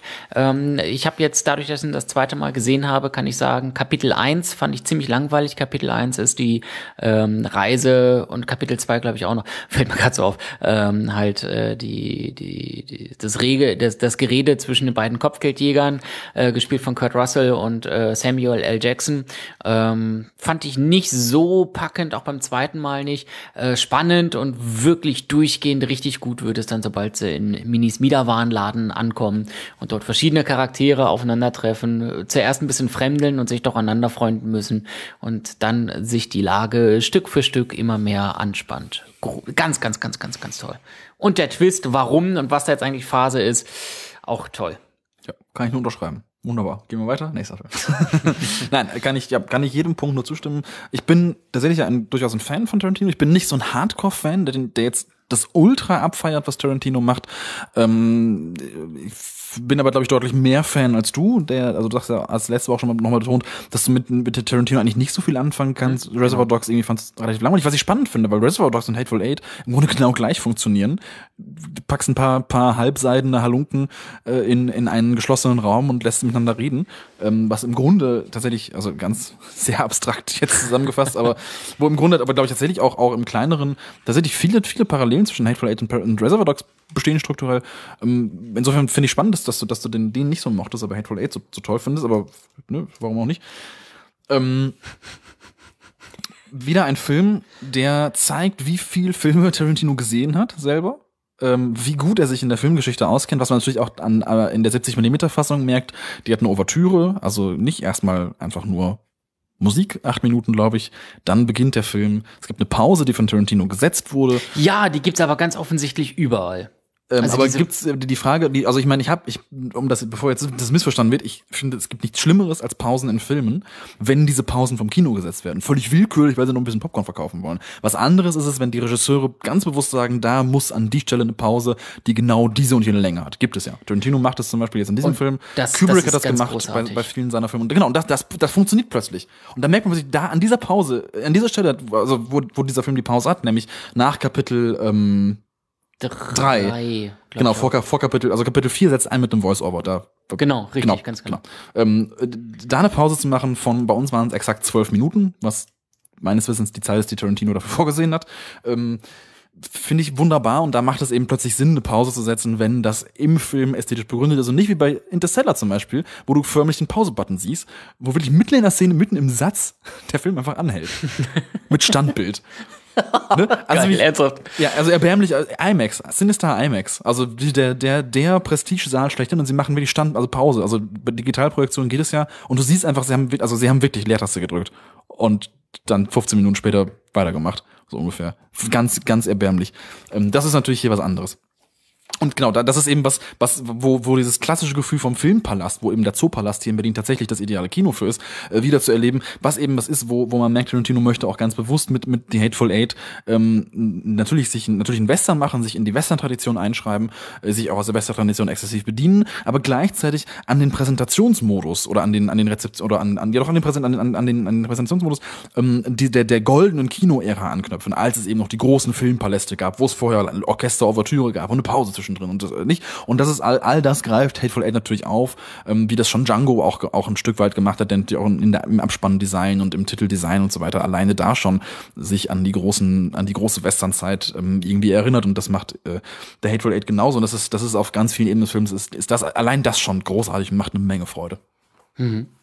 Ähm, ja, Du hast gesagt, du stimmst mir in jedem Punkt zu. Äh, stimmst du mir auch zu, dass äh, äh, die ersten zwei Kapitel vielleicht nicht so spannend waren wie das Zusammenkommen in Minis Miederwarenladen? Auf jeden Fall, ja, klar. Die ersten zwei Kapitel sind relativ nicht langsam, doch langsamer natürlich als der Rest ja. des Films, aber nicht langweilig. Also ähm, ich kann verstehen, dass man das ein bisschen langweilig findet. Ich fand's super. Ich mag einfach Tarantinos Dialoge sehr gerne. Das wäre ein Punkt, den ich am ganzen Film ein bisschen, was heißt kritisieren würde, aber das Drehbuch, und da hat er sich ja selber ziemlich drüber aufgeregt, hat leider zu Recht keine Oscar-Nominierung bekommen, was ein tolles Drehbuch ist aber nicht an diese Spritzigkeit und an dieses Wortfeuerwerk rankommt, was man von Tarantino sonst eigentlich aus fast allen Filmen kennt. Also natürlich ist da Pulp Fiction irgendwie die Messlatte, die er, die er selber wahrscheinlich nie wieder erreichen wird, aber auch Inglourious Bastards und Django und so weiter sind Filme, die, die nochmal ein ganz anderes Sprach- und Wortfeuerwerk äh, liefern, als Hateful Eight es dann schafft. Man, und leider hat man, habe ich ein bisschen, ein paar Mal das Gefühl gehabt, er bemüht sich daran zu kommen, was klappt nicht so ganz. Und eine gute Freundin von mir hat das, glaube ich, richtig auf den Punkt gebracht, was, was so dieser kleine Kritikpunkt als aus, auch aus vor allem der Sicht eines Tarantino-Fans an Hateful Eight sein könnte. Ich glaube, oder sie glaubt, und ich stimme ihr dazu, Tarantino hat sonst nicht so genau eine Idee, wo der Film hingeht, aber hat viele tolle Ideen für Sätze und für, für Dialogzeilen und für, für, für, für Kommunikation. und baut dann daraus eine Handlung. Und bei Hateful Eight war es, glaube ich, andersrum. Er hatte die Idee, ich packe mal acht Leute in eine, in eine kleine Hütte, die zugeschneit wird und gucke, was passiert und dann schreibt er das Drehbuch. Und so, also so fühlt sich das ein bisschen an, als wenn gewissermaßen er versucht hätte, das Drehbuch dem, dem nachkommen zu lassen, was diese Setting-Idee so großartig vorgibt, nämlich Kammerspiel, meets Western, äh, meets richtig abgefuckte Leute und ähm, eine Menge Blut- und Hirnsplatter. Ähm, und das, da, da gibt es eben so ein paar, ein paar Momente, wo ich, wo ich das Gefühl habe, das Drehbuch versucht mit allen Mitteln geil und spritzig und fett zu sein und schafft es immer nicht, nicht immer so ganz, aber es ist ein minimaler Einwand. Äh, ansonsten ähm, tatsächlich finde ich finde ich das schon von vorne bis hinten ziemlich gut auch die ersten beiden Kapitel spritzig und interessant genug. Ähm, Andy hat das, äh, ich habe mit Andy gemeinsam den Film zumindest zum zweiten Mal für mich gesehen und äh, er hat das eigentlich sehr schön auf den Punkt gebracht. Ähm, der Film ist auch nicht langweilig oder unspannend, weil äh, jeglicher Dialog der äh, Story zuträglich ist. Es, es gehört zur Story und das sind nicht ausschweifende äh, Dialoge, die eben nichts mit der mit dem mit der Storyline an sich zu tun hatten. Der Quarter Pounder in Pulp Fiction, ähm, ein toller Dialog, aber hat nichts mit der Geschichte an sich zu tun. Ähm, und dann vielleicht äh, profitiert der Film zumindest in dem für, für den Mainstream-Schauer, siehe mich zum Beispiel, dadurch tatsächlich, dass es äh, zwar auch lange und äh, extensive Dialoge sind, aber die in irgendeiner Form der Charakterzeichnung äh, in dem Film, für den Film dann auch äh, zuträglich sind. Natürlich ist auch die Diskussion über den Quarter Pounder charakterzeichnend, ohne Frage. Deswegen äh, bin ich mal gerade selber so ein bisschen ins Wort gefallen. Aber ähm, letztlich bringt diese Diskussion den Film und den Filminhalt in Pulp Fiction nicht voran. Währenddessen zum Beispiel die ersten beiden Kapitel durchaus ja den Film voranbringen und äh, die, das, das Verhältnis zwischen den beiden äh, dann auch für später äh, sehr gut darstellt. Ähm, das ist etwas, äh, wo ich dann durchaus zustimmen wollte, ähm, weil ich wüsste tatsächlich keinen Dialog oder Monolog, der äh, nicht in direkter Verknüpfung äh, mit dem Film wäre. Äh, vielleicht ist es das, weswegen ich diesen Tarantino so besonders gut fand. Ja, also ja, klingt Ja. Erstmal erst, erstmal schlüssig. Nee, auf jeden Fall. Also ähm, da ich, da ich halt, da, da, also da habe ich einfach eine andere, andere Perspektive. äh, Ja. Wie gesagt, dadurch, dass ich halt sonst die Tarantinos auch alle ziemlich großartig fand. Ja, aber, Ähm, aber ja, äh, letzt, letztlich, äh, wir haben es gerade eben schon bei The Big Short festgestellt, dort war es dann aber tatsächlich eher, dass wir verschiedener Meinung sind, äh, trotz dessen, oder gerade weil wir verschiedene Rezeptionen und Interpretationen des Films haben. Äh, dieses Mal hört es sich so an, als ob wir trotz verschiedentlicher, also nicht zumindest identischer Rezeptionen, auf eine ähnliche Wertung kommen. Äh, nicht ganz. Die, Nicht ganz. Bei mir wären es vier von fünf Sternchen. Ähm, ich ich, ich finde es ein bisschen schade, dass er eben diese, diese zwischendurch diese Durststrecken hat, wo er auch, auch gewisse Längen hat, sicherlich an einigen Momenten, aber über den ganzen Film verteilt, hat dafür großartige Momente, die mm, Schwanzlutsch Nummer, die ich jetzt Oh, einfach mal nicht, nicht weiter kommentieren möchte als mit diesem Wort äh, brillant. Habe ich gefeiert. Ähm, Tarantino nimmt sich wieder sehr, sehr viel heraus. Ähm, ich meine, ein paar Leute einfach über eine gewisse Zeit, das ist jetzt kein, kein Spoiler, das als Fakt äh, einfach in den Raum zu stellen, ein paar Leute einfach eine gewisse Zeit Blut kotzen zu lassen. Geil. Das ist so auf die Fresse und das ist so, äh, ich mache, was ich will und ihr könnt mich alle mal. Gefällt mir sehr gut. Hat, hat finde ich, den richtigen Gestus. Ähm, ein Film, der, der auch als Western, finde ich, wunderbar funktioniert. Also wenn man davon ausgeht, irgendwie, dass, dass der Western das amerikanische Genre ist, was irgendwie die amerikanische Ideologie und amerikanische Politik oder Ideologie, Ideologie vor allem trägt, dann ist The Hateful Eight tatsächlich eine, ein, ein sehr aktueller Western, wo halt die Ideologie irgendwie längst hinter uns liegt und ähm, es, es jeder gegen jeden, jeder für sich selber ist, ähm, um ohne jetzt äh, da zu, so viel spoilern zu wollen, das, da, das ließe sich alles detaillierter nur besprechen, wenn man jetzt sozusagen den Twist auch vorweg, das wollen wir gar nicht. Da kann sich jeder auch seine eigenen Gedanken machen. Ähm, auf jeden Fall eine Empfehlung, sowohl für Fans von Tarantino als auch für Menschen, die jetzt offenbar, wie du es ja sagst, nicht so viel mit, mit seinen Filmen bisher anfangen konnten. Vier von fünf ist ja trotzdem gut, fünf von Auf fünf jeden ist Fall. auch sehr gut. Also äh, ich mir ist auch keiner über den Weg gelaufen, der jetzt wirklich sagte, der Film ist äh, schlecht. Äh, wäre beim Tarantino auch tatsächlich verwunderlich, aber nichtsdestotrotz kann das ja durchaus passieren. Ähm, es gibt manche, die dann sagen, "Hm, ist kein purer Tarantino. Auch bei dir ist es jetzt ja schon so äh, durchgeblickt, aber trotz alledem ähm, ist mir keiner über den Weg gelaufen, der sagt, Welche, also das, wie bitte? sorry, ich wollte dich, ich wollte nicht unterbrechen. Ja, nö, pass. Welche Oscars würdest du ihm gönnen? Oder welche Oscars würdest du ihm ähm, Jetzt muss ich geben? kurz auf. Jetzt Also er ist, er ist nominiert für Musik, wo ich sagen würde, den hätte er verdient. Mhm. Ähm, und er ist nominiert für äh, beste Nebendarstellerin, Jennifer Jason Lee, die die einzige Frau in diesem Film spielt, oder die einzige größere Frauenrolle spielt. Äh, und für beste Kamera. Also Kamera war wirklich gut. Also dieses Spiel mit äh, tiefen Schärfe und Unschärfe ist in bestimmten Szenen sehr intensiv ausgespielt und das äh, ist ein bisschen right into your face, muss man auch sagen. Aber das sah schon echt gut aus. Und, Und in äh, 70 Millimeter sieht's gut aus. Das kann ich dir wohl sagen. das glaube ich dir, das glaube ich dir. Vor allem das Gefühl, du siehst natürlich das leichte Flackern dieses gigantischen Filmstreifens auf dieser großen Leinwand und natürlich den, die, das ein oder andere Staubkorn, obwohl die Kopie natürlich noch sehr jung ist, aber trotzdem äh, zu wissen, dass das eine 70 mm Projektion ist, das ist nochmal, da, da, da geht dir nochmal richtig einer bei ab. Also tatsächlich kann ich jedem nur empfehlen, der die Chance noch hat, das, das zu tun. Und sowieso immer die echte Projektion dieser diesen ekligen Digital-Scheiß-Produktionen vorziehen. Äh, die äh, Road Tour von äh, The Hateful Eight, jetzt muss ich mal kurz gucken, ist ja nicht nur in ähm, ist ja nicht nur in äh, Berlin, sondern äh, die äh, gibt es ja auch tatsächlich dann. Also ich weiß, dass es sie in äh, warte mal Deutschland. Äh, Deutschland, dass es sie in Essen gibt. Da wird auf jeden Fall nochmal ähm, das gezeigt. Liste deutscher Kinos mit 70 Ich glaube. Karlsruhe auch, bin mir nicht ganz sicher. Die haben zumindest auch einen IMAX Lasersaal und ich meine, dass die auch einen, dass die auch einen ähm, 70 mm Projektor haben. So, Zoopalast Essen äh, im Savoy in Hamburg, Lichtburg in Essen, äh, äh, Zoopalast in Berlin, Savoy in Hamburg, Lichtburg in Essen und Schauburg in Karlsruhe. Dort hält die offizielle Hateful Eight äh, Roadshow hier in Deutschland auch äh, an. Und äh, dort könnt ihr euch diesen dann genauso in dieser Variante anschauen, wie ihn jetzt äh, Lars gesehen hat. Äh, wie sind wir drauf gekommen? Äh, Kamera, ach ja, Dringende ganz Empfehlung. Äh, genau, und Kamera, Oscar. Würde ich aber tatsächlich eher Mad Max zusprechen. Finde ich, hätte ihn, hätte ihn dann dort dann, dann doch noch eine Spur besser, ist einfach noch, noch mal eine Spur aufwendiger und interessanter als bei Max. nee, da, da würde ich bei tatsächlich eher auf Special Effects und Szenenbild oder sowas gehen. Ähm, Kamera, die ist da wirklich sehr handwerklich hochtrabend und das finde ich eigentlich bei Quentin Tin- Tarantino sehr schön. Ich muss mal kurz gucken, was die beste Filmmusik betrifft. Ennio Morricone, Hateful Eight, Bridge of Spice habe ich nicht gesehen, Sicario überhaupt nicht auffällig, Star Wars gut gemacht, aber auch eher klassisch und Carol habe ich auch nicht gesehen. Ich würde The Hateful Eight spontan sagen. Wär ich, da wäre ich mir auch ziemlich sicher, dass er den bekommt. Also das ist auch dann noch mal ein Stück weit Lebenswerkabschluss für Morricone, der wahrscheinlich damit seinen letzten Oscar bekommen wird. Und die beste Nebendarstellerin, Jennifer, Jennifer Jason Lee, Finde ich, finde ich absolut nicht. da muss man nochmal die beste Nebendarstellerin, kann man auch nochmal vergleichen. Äh, Rooney Mara in, in Carol, Rachel McAdams in Spotlight. Spotlight läuft bei uns in Deutschland ja noch nicht. Da, äh, da läuft genau in der Oscarwoche an. Am Sonntag ist die Oscarverleihung und den Donnerstag vorher äh, läuft Spotlight hier in Deutschland an.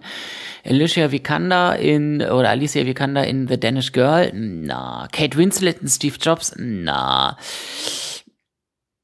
Da, ich habe Carol nicht gesehen. Den hypen ja alle ganz weit nach oben. Ne? Er hätte ihn absolut verdient, meines Erachtens. Also, Also ich fand. Jennifer Jason Lee auf jeden Fall jetzt auch nicht so krass. Sie spielt gut, sie spielt wirklich gut. Aber im Grunde spielt sie nur ein griesgrämiges Gesicht und ein bisschen äh, geschlagene Frau. Ähm, und man muss wirklich sagen, die Zähne, die sind schweinegeil.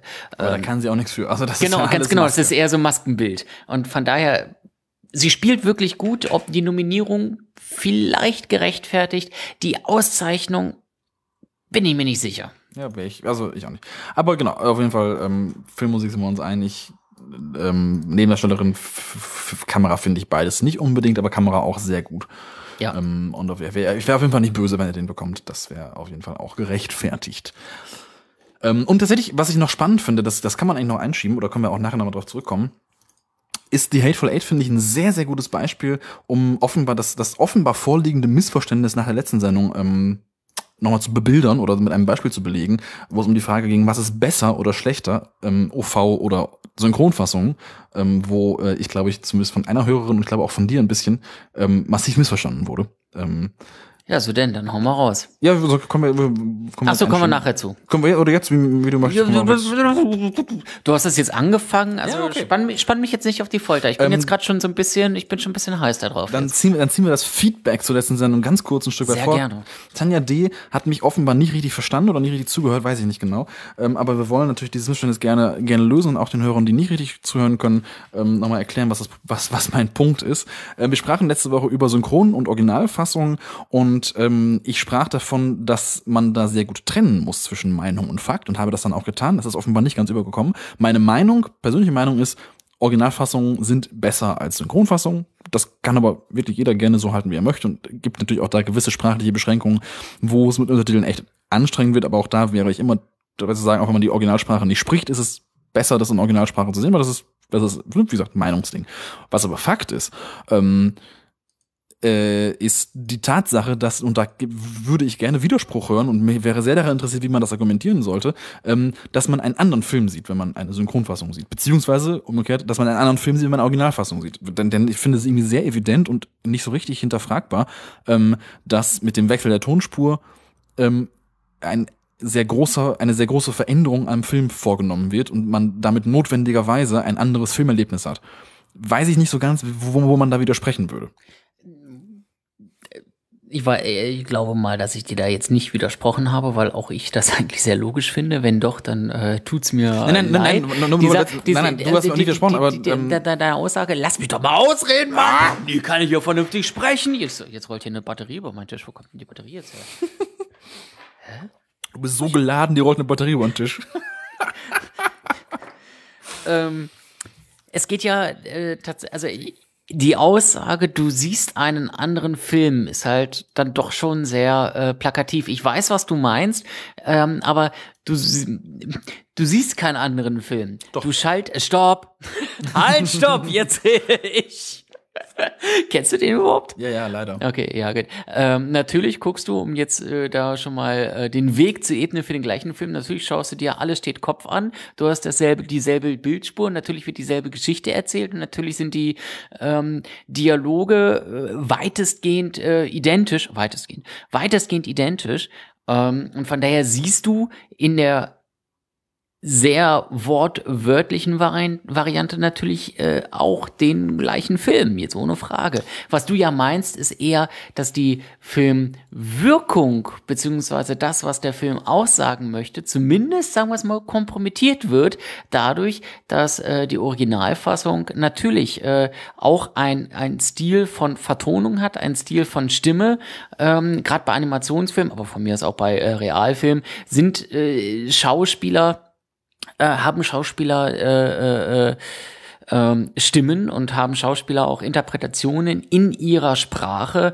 Ähm, und, und auch das, das, das, das, überhaupt das ganze Sounddesign drumherum, wenn es in einem Wald aufgenommen wird, kann man sich da kann man sich gerne mal diesen Spaß machen, wie natürlich und wie harmonisch eine OV klingt ähm, und wie wie im Gegensatz dazu konstruiert eine Synchrofassung klingt. Da stimme ich dir wiederum zu. Die Geschichte ist ja dieselbe, die erzählt wird. Nur was, äh, was dort eben für, für, äh, für eine Emotion, für ein Gefühl dabei herüberkommt. Und da stimme ich dir zu, das ist wirklich äh, unterschiedlich.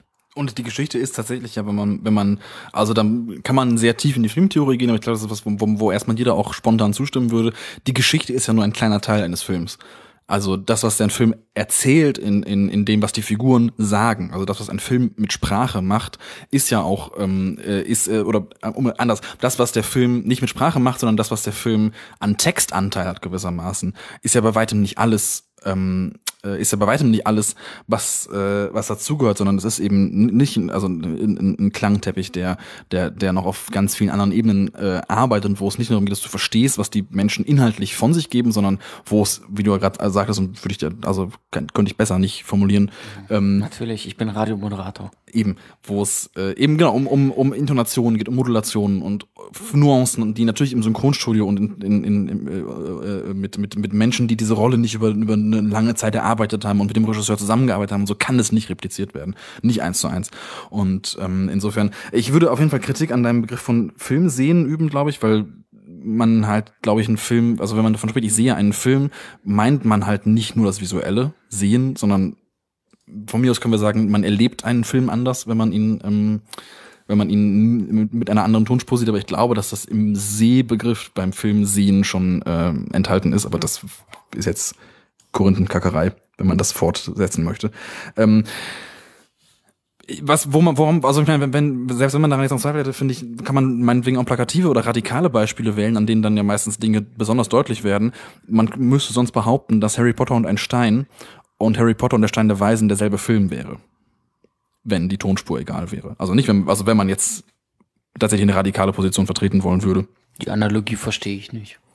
Wenn, wenn man die Position vertreten wollen würde, die Tonspur ist völlig, völlig egal und man sieht trotzdem denselben Film, ähm, dann wäre die Harry Potter Synchronparodie wäre derselbe Film wie Harry Potter Original, weil die Tonspur egal ist, wenn das so wäre. Und damit wird, glaube ich, deutlich, dass, damit wird, glaube ich, sehr deutlich, dass die Tonspur in jedem Fall eine große Bedeutung. Klar wird da auch der semantische Gehalt verändert und passieren einfach inhaltlich andere Dinge, aber das passiert ja auch schon im Kleinen. Also das passiert ja auch in der Übersetzung schon. Das wird, weiß jeder, der irgendwie eine, der mehr als eine Sprache spricht, was die meisten unserer Hörer sein dürften. Ähm, wenn du einen Satz übersetzt, verändert sich der Sinngehalt des Satzes durch die Übersetzung. Wie, wie gering das auch immer sein mag, es verändert sich. Dadurch, dass Wörter, jedes Wort eine andere Bedeutung als, die Übersetzungs, äh, als das Übersetzungspendant und im Zusammenhang äh, nochmal so, da kann man tatsächlich meinetwegen auch tiefen linguistische Theorien mit einsteigen. Das ist einfach, ist einfach faktisch so. Also da gibt es nicht viel rum zu, rum zu diskutieren. Ähm, und das hat deswegen auch nichts mit Meinungen zu tun.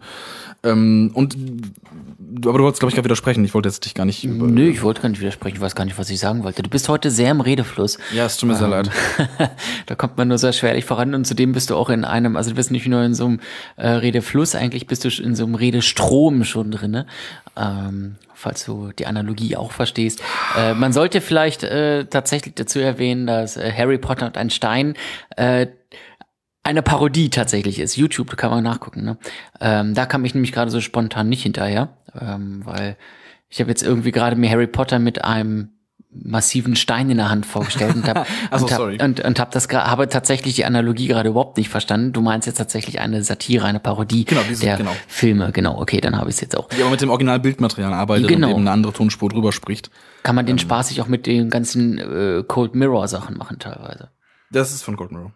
Ach, das siehst das, du. Das, ist, das ist das, genau. Ach, sie, ja. Das, das wäre so oh, ein extrem... wir haben so viel gemeinsam. Wir denken an dieselben es ist, Videos. Es ist, mm. es ist unglaublich. Ähm, jedenfalls der Punkt, den ich, den ich nochmal machen wollte bei Hateful Eight, woher wir also, wo wir diesen kleinen, glaube ich, aber sehr notwendigen oder sehr interessanten Exkurs eingebaut haben, der tatsächlich auch für eine Extended-Folge, ich hatte das im Konzept schon kurz notiert, ähm, nicht, un nicht uninteressant wäre, gerade auch tatsächlich mit Fragen der Zensur, was nicht heißt, dass eine Synchronfassung Zensur bedeutet, aber was schon nicht uninteressant ist, das zumindest mal zu durchdenken, was die Synchronfassung bedeutet, ähm, weil es da auch eben Fälle gibt, wo eine, Zens eine, eine Synchronfassung tatsächlich zen zensieren kann, äh, ganz, ganz klar. Ähm, und ähm, bei Hateful Eight finde ich es interessant. Ich hab, bin sehr dankbar, ihn in der OV gesehen zu haben ich bin auch sehr dankbar, dass es dabei Untertitel gab, weil die Menschen wie bei Tarantino ja auch durchaus nicht unüblich schon sehr undeutlich sprechen. Und der Film aber ganz, ganz viel Charakterisierung und ganz viel seiner Dynamik darüber gewinnt, dass es diesen, diesen Südstaaten-Nordstaaten-Konflikt auch natürlich über die, über die, über die Sprachvariation organisiert. Also das, das, was Chris Mannix zum Beispiel spricht, ähm, ist so ein breites, gedehntes, schleimig widerliches texanisches Südstaaten ähm, sprechen. Das ist was, was du in der Synchro ein, was einfach verloren geht, was du einfach nicht übertragen kannst, weil es diesen Trennung von Südstaaten, Nordstaaten Akzent in Deutschland natürlich nicht gibt, weil wir nicht in Amerika sind. Und diese regionale Verknüpfung fällt halt, fällt halt vollkommen weg, die bei Hateful Eight einfach eine enorm wichtige Rolle spielt, auch für die Charakterisierung der Figuren und vor allem für das Spannungsverhältnis zwischen den Figuren. Und es gibt eine Figur, ist jetzt kein Spoiler, die Englisch spricht die ein sehr gestochenes, sehr hohes aristokratisches Englisch spricht und bei einem gewissen Kippen in der Rolle ähm, spricht sie plötzlich Arbeiterenglisch so ein ganz breites, hässliches Dockarbeiter-Englisch. Und das ist ein, das ist ein Wechsel, der so eine Zweiseitigkeit oder eine, eine, eine Zweigesichtigkeit dieser Rolle durch so eine winzige Variation einzieht, die natürlich von der Synchrofassung einfach platt gemacht wird, was, was in der Synchro sich nicht erhalten kann. Und das sind so Sachen, weswegen ich sagen würde, die, die Originalfassung ist immer besser, aber deswegen habe ich dieses Beispiel jetzt gerade genommen. Äh, das meine ich, das ist wichtig, das als Meinung zu verstehen, weil ganz offensichtlich in unserem Fall sieht man, du hast die Synchrofassung gesehen und hast ihm trotzdem 5 von 5 Sterne gegeben. Insofern ist das meine persönliche Meinung, mit der ich meine Filme gucken möchte, die aber nicht notwendigerweise heißt, dass es für alle Menschen so gilt, dass die OV zu einer besseren Filmwertung führt. Es ist nur ein Fakt, dass es einfach ein anderes Erlebnis ist, aber das ist deswegen nicht schlechter oder besser.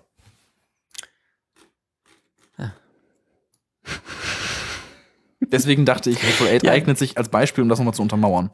Gut, ja, nee, stimmt ja auch. Also gerade dieses Beispiel kann ich ja gar nicht nachvollziehen mit dem äh, Englisch. Von daher äh, tatsächlich ein, ein guter Aufhänger an der Stelle. Du gibst ihm vier von fünf, ich gebe ihm fünf von fünf. Ich hatte es vorhin schon gesagt, beides gute Wertung. Also wer den Film noch nicht gesehen hat, darf ihn gerne nachholen. Sollte es tun. Ein Film, den auch alle nachholen müssen, wenn sie ihn nicht gesehen haben, stellt uns jetzt Phil vor. Ach so, ich dachte, jetzt machst du noch eine Runde über nee, nee, nee, nee, nee, nee, nee. Okay, sehr schön. Ja, äh, alles steht Kopf, der äh, Pixar-Film, den wir äh, Ende letzten Jahres im Kino sehen durften. Ähm, kommt jetzt gerade diese Woche, quasi wenn ihr das hört, just in diesem Tag, nämlich am 11. Februar, äh, fürs Heimkino heraus. Und äh, du rennst immer zur Pressevorführungen. Ich bin immer derjenige, der sich die äh, Blu-rays und DVDs vorher schon mal anguckt. Und so habe ich das äh, mit Alles steht Kopf auch nochmal gemacht. Äh, kurz nochmal zum, zum Fresh-Up. Worum geht es nochmal? Ähm, es geht um die elfjährige Riley und äh, sie zieht mit ihrer Familie, mit Vater und Mutter ähm, von sonst wo eigentlich, also aus gewohntem Umfeld nach äh, San Francisco. Und äh, ja, alles ist da blöd und sie muss neue Freunde finden und alles total kacke. Klingt erstmal relativ unspektakulär.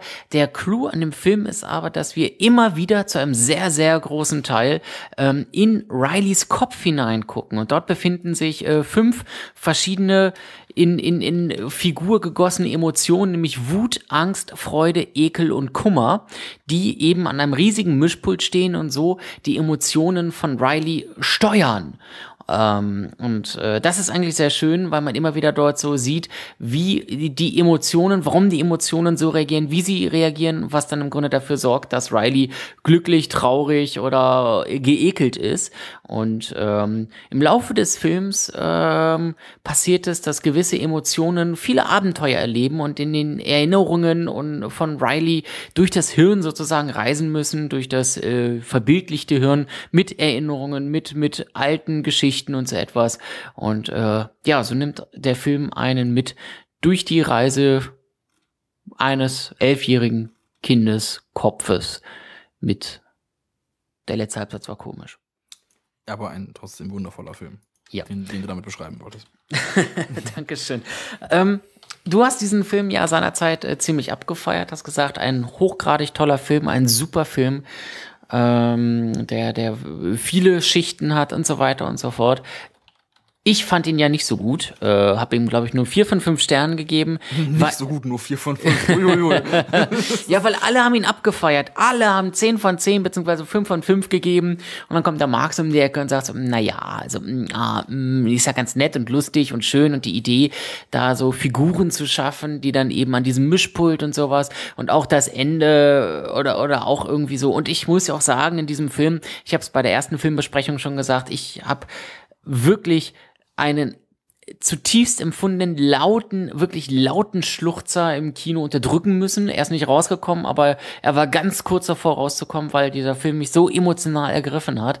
Ähm, in der Busszene, ähm, wo ich dann so sagte, oh, das, das, das hat auch noch kein Film geschafft. Was ich dem Film aber tatsächlich dann äh, negativ angerechnet habe, war diese äh, Reise durch das Hirn, durch die Erinnerung, durch die Inseln, die Gedächtnisinseln, die Lebensinseln oder irgendwo irgendwie so ein Scheiß, ähm, wo ich so dachte, ach komm, ja, das ist mir zu abenteuerlich. Das ist jetzt, das hat jetzt weniger irgendwo diese Interaktion von von von Figuren und dann was macht Riley da drauf oder was erlebt Riley und warum und wie reagieren dann die Emotionen da drauf, sondern es ist irgendwie jetzt zu zu kindlich geworden, zu abenteuerlastig. Man wollte irgendwie noch was für die Kleinen machen, dass die was zum Lachen haben und zum Mitfiebern und zum Spannend sein. Das fand ich nicht so toll. Du sagtest hingegen, dass das durchaus sinnvoll wäre, oder? Also, dass du es auch als sehr unterhaltsam und sogar tiefgründig erachtet hast. Ja, was heißt tiefgründig? Also, natürlich hat der Film einen Abenteuerplot, wo es irgendwie darum geht, nicht Abenteuer, wir reisen irgendwie durch den Kopf und so. Aber ja, es hat dient natürlich alles, alles der dieser Visualisierung von Denkprozessen, die der Film so grandios leistet. Und ähm, für mich hat es das jetzt nicht runtergezogen. Und ich fand es ganz witzig, dass du es von dem Schluchzmoment nochmal sprachst, weil ich auch das Schluchzen, ich habe es dann nicht unterdrückt, ich habe es alles rausgelassen, ich habe es alles gegeben. Aber in einem anderen Moment hatte, nicht in dem Bus, sondern wir sprachen ja drüber in der, ich sage mal, äh, Bing-Bong-Szene. Mhm also da ging bei mir gar nichts mehr. Da war einfach, da war vorbei. Und da hatte der Film noch ein paar andere, wo ich wirklich, also ein Film, der mir sehr nahe gegangen ist und ähm, wo ich nicht ganz verstehen konnte, dass er dir nicht so nahe gegangen ist, also nicht, nicht, nicht so durchgehend so nahe gegangen ist. Ich habe ein bisschen das Gefühl, nachdem ich da einen gewissen Text von einem gewissen Autoren auf einer gewissen Seite gelesen habe, ähm, dass das sich geändert haben könnte. Ja, es hat sich tatsächlich geändert. Also äh, ich habe mir dann äh, die Zweitsichtung nochmal zum Anlass genommen, dann auch eine äh, Filmkritik zu schreiben, die ihr natürlich auf nerdtalk.de lesen könnt. Und äh, die hat jetzt äh, keine vier von fünf Sterne mehr. Ganz im Gegenteil, sie hat jetzt fünf von fünf. Und das ist eine, die Filmkritik ist äh, glaube ich, abseits jeglicher Objektivität und benutzt äh, äh, Soll es ja auch sein. Meine Güte, das ist auch kein Ja. Film. Das ist ein Film, der ist fürs Herz. Da muss man auch mal subjektiv sein, dö. Richtig, also äh, das ist, das ist schon, ähm, ich, ich, ich versuche da gerade hier solche Ausdrücke wie es ist geradezu zum Niederknien. Äh, solche Begriffe fallen dort und es ist wirklich ein, ein Film zum Niederknien, ein großartiger Film. Ich habe dem in meiner ersten Kritik richtig Unrecht getan. Alles, was dort in diesen, äh, in dieser, in diesem Erinnerungsplot-Bereich da passiert, in dem Abenteuerbereich, hat seine Berechtigung, ist vollkommen korrekt da angebracht und ähm, ich habe es auch in die Filmkritik reingeschrieben. Ich weiß nicht, von wem ich es habe. Es kann sein, dass ich es von dir habe oder von irgendjemand anderem. Es ist so ein bisschen so auch so so so Boyhood-mäßig. Es gibt ganz viele Elemente, wo man sich mit identifizieren kann, ähm, was einfach aus dem Leben gegriffen ist, was einfach dazugehört.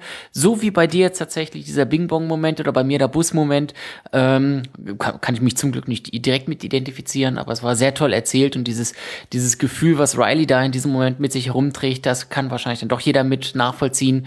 Und, Und darum ähm, geht's ja auch, glaube ich, nicht. Und das, also sorry, wollte ich, sprich ich wollte nicht. ähm, und äh, dass, dass Erinnerungen verblassen, dass Erinnerungen verloren gehen, dass äh, Dinge abgerissen werden, dass Dinge neu aufgebaut werden, dass es neue Erkenntnisse gibt, wie eigentlich so Emotionen agieren und reagieren sollen. All das kennen wir natürlich jetzt nicht in so personifizierter Form in unseren Köpfen drinne, aber ähm, die Auswirkungen dessen kennen wir alle, weil wir es alle selber mitgemacht haben. Und jeder, der ein junger Erwachsener oder auch ein alter Erwachsener ist, äh, wird das nachvollziehen können. Und äh, es ist so liebevoll erzählt, so süß erzählt und so viele Elemente, die wir eben von früher kennen. Ganz einfach die Verbildlichung dessen, dass wir eben Dinge vergessen. Ja, meine Fresse, wir vergessen Dinge. Aber auch das greift der Film auf und das eigentlich sehr, ja, lustig und dann doch traurig und nett und es ist wirklich, wow, ein ganz, ganz toller Film. Ich könnte ihn nochmal sehen. Ich hatte einen ganz, ganz dicken Kloß, übrigens dieses Mal auch bei Bing Bong im Kopf, äh, im Hals. Hast du einen dicken Kloß im Kopf gehabt? Das klingt nicht so gesund, vielleicht sollst du mal zum Arzt gehen. Vielleicht werde ich Deadpool. Der hat ja auch dicke Klöße im Kopf. Ähm, Scheiße, das habe ich mich selber unterbrochen. Das war nicht gut. Ähm, nee, aber es ist auch bei der Zweitsichtung unfassbar, da ist das Wort wieder äh, äh, traurig gewesen, emotional. Ähm, ich bin meiner Mutter, die zwischenzeitlich telefonieren gegangen ist, zu meinem absoluten Unverständnis über den Mund. Im ge- Film telefonieren gegangen? ja, ja, aber zum Glück hat sie den Raum verlassen. Ähm, Also sie war nicht im Kino, sie war im klar, nein, nein, das war ist ja, wie gesagt, Blu-ray. Ich wollte, Äh, wollte gerade schon, ich wollte schon durchs Telefon kommen. Nee, nee, vor, vor Presse-Release, also Presse-Release für uns, Vorankündigung und so weiter, dass wir auch darüber reden können, bevor der Film auf DVD und Blu-ray rauskommt. Ähm, deswegen haben wir den da gemeinsam geguckt und äh, sie ist rausgegangen und kam genau in diesen Szenen wieder zurück und fing an, über Tele ihr Telefonat zu schnacken. Und ich bin ihr ziemlich rigid über den Mund gefahren und habe gesagt, sei ruhig, guck den Film, weil ich einfach diesen, weil ich so aufgegangen bin in diesem Film und ähm, er einfach so packend war. Ähm, dass das ja jegliches, also dass, dass das ein äh, absolutes Filmerlebnis ist. Ein wahres Filmerlebnis. Tja, ich glaube, das ist ein Erlebnis, ist, glaube ich, da der, genau der Punkt. Es geht, glaube ich, um ein Erleben.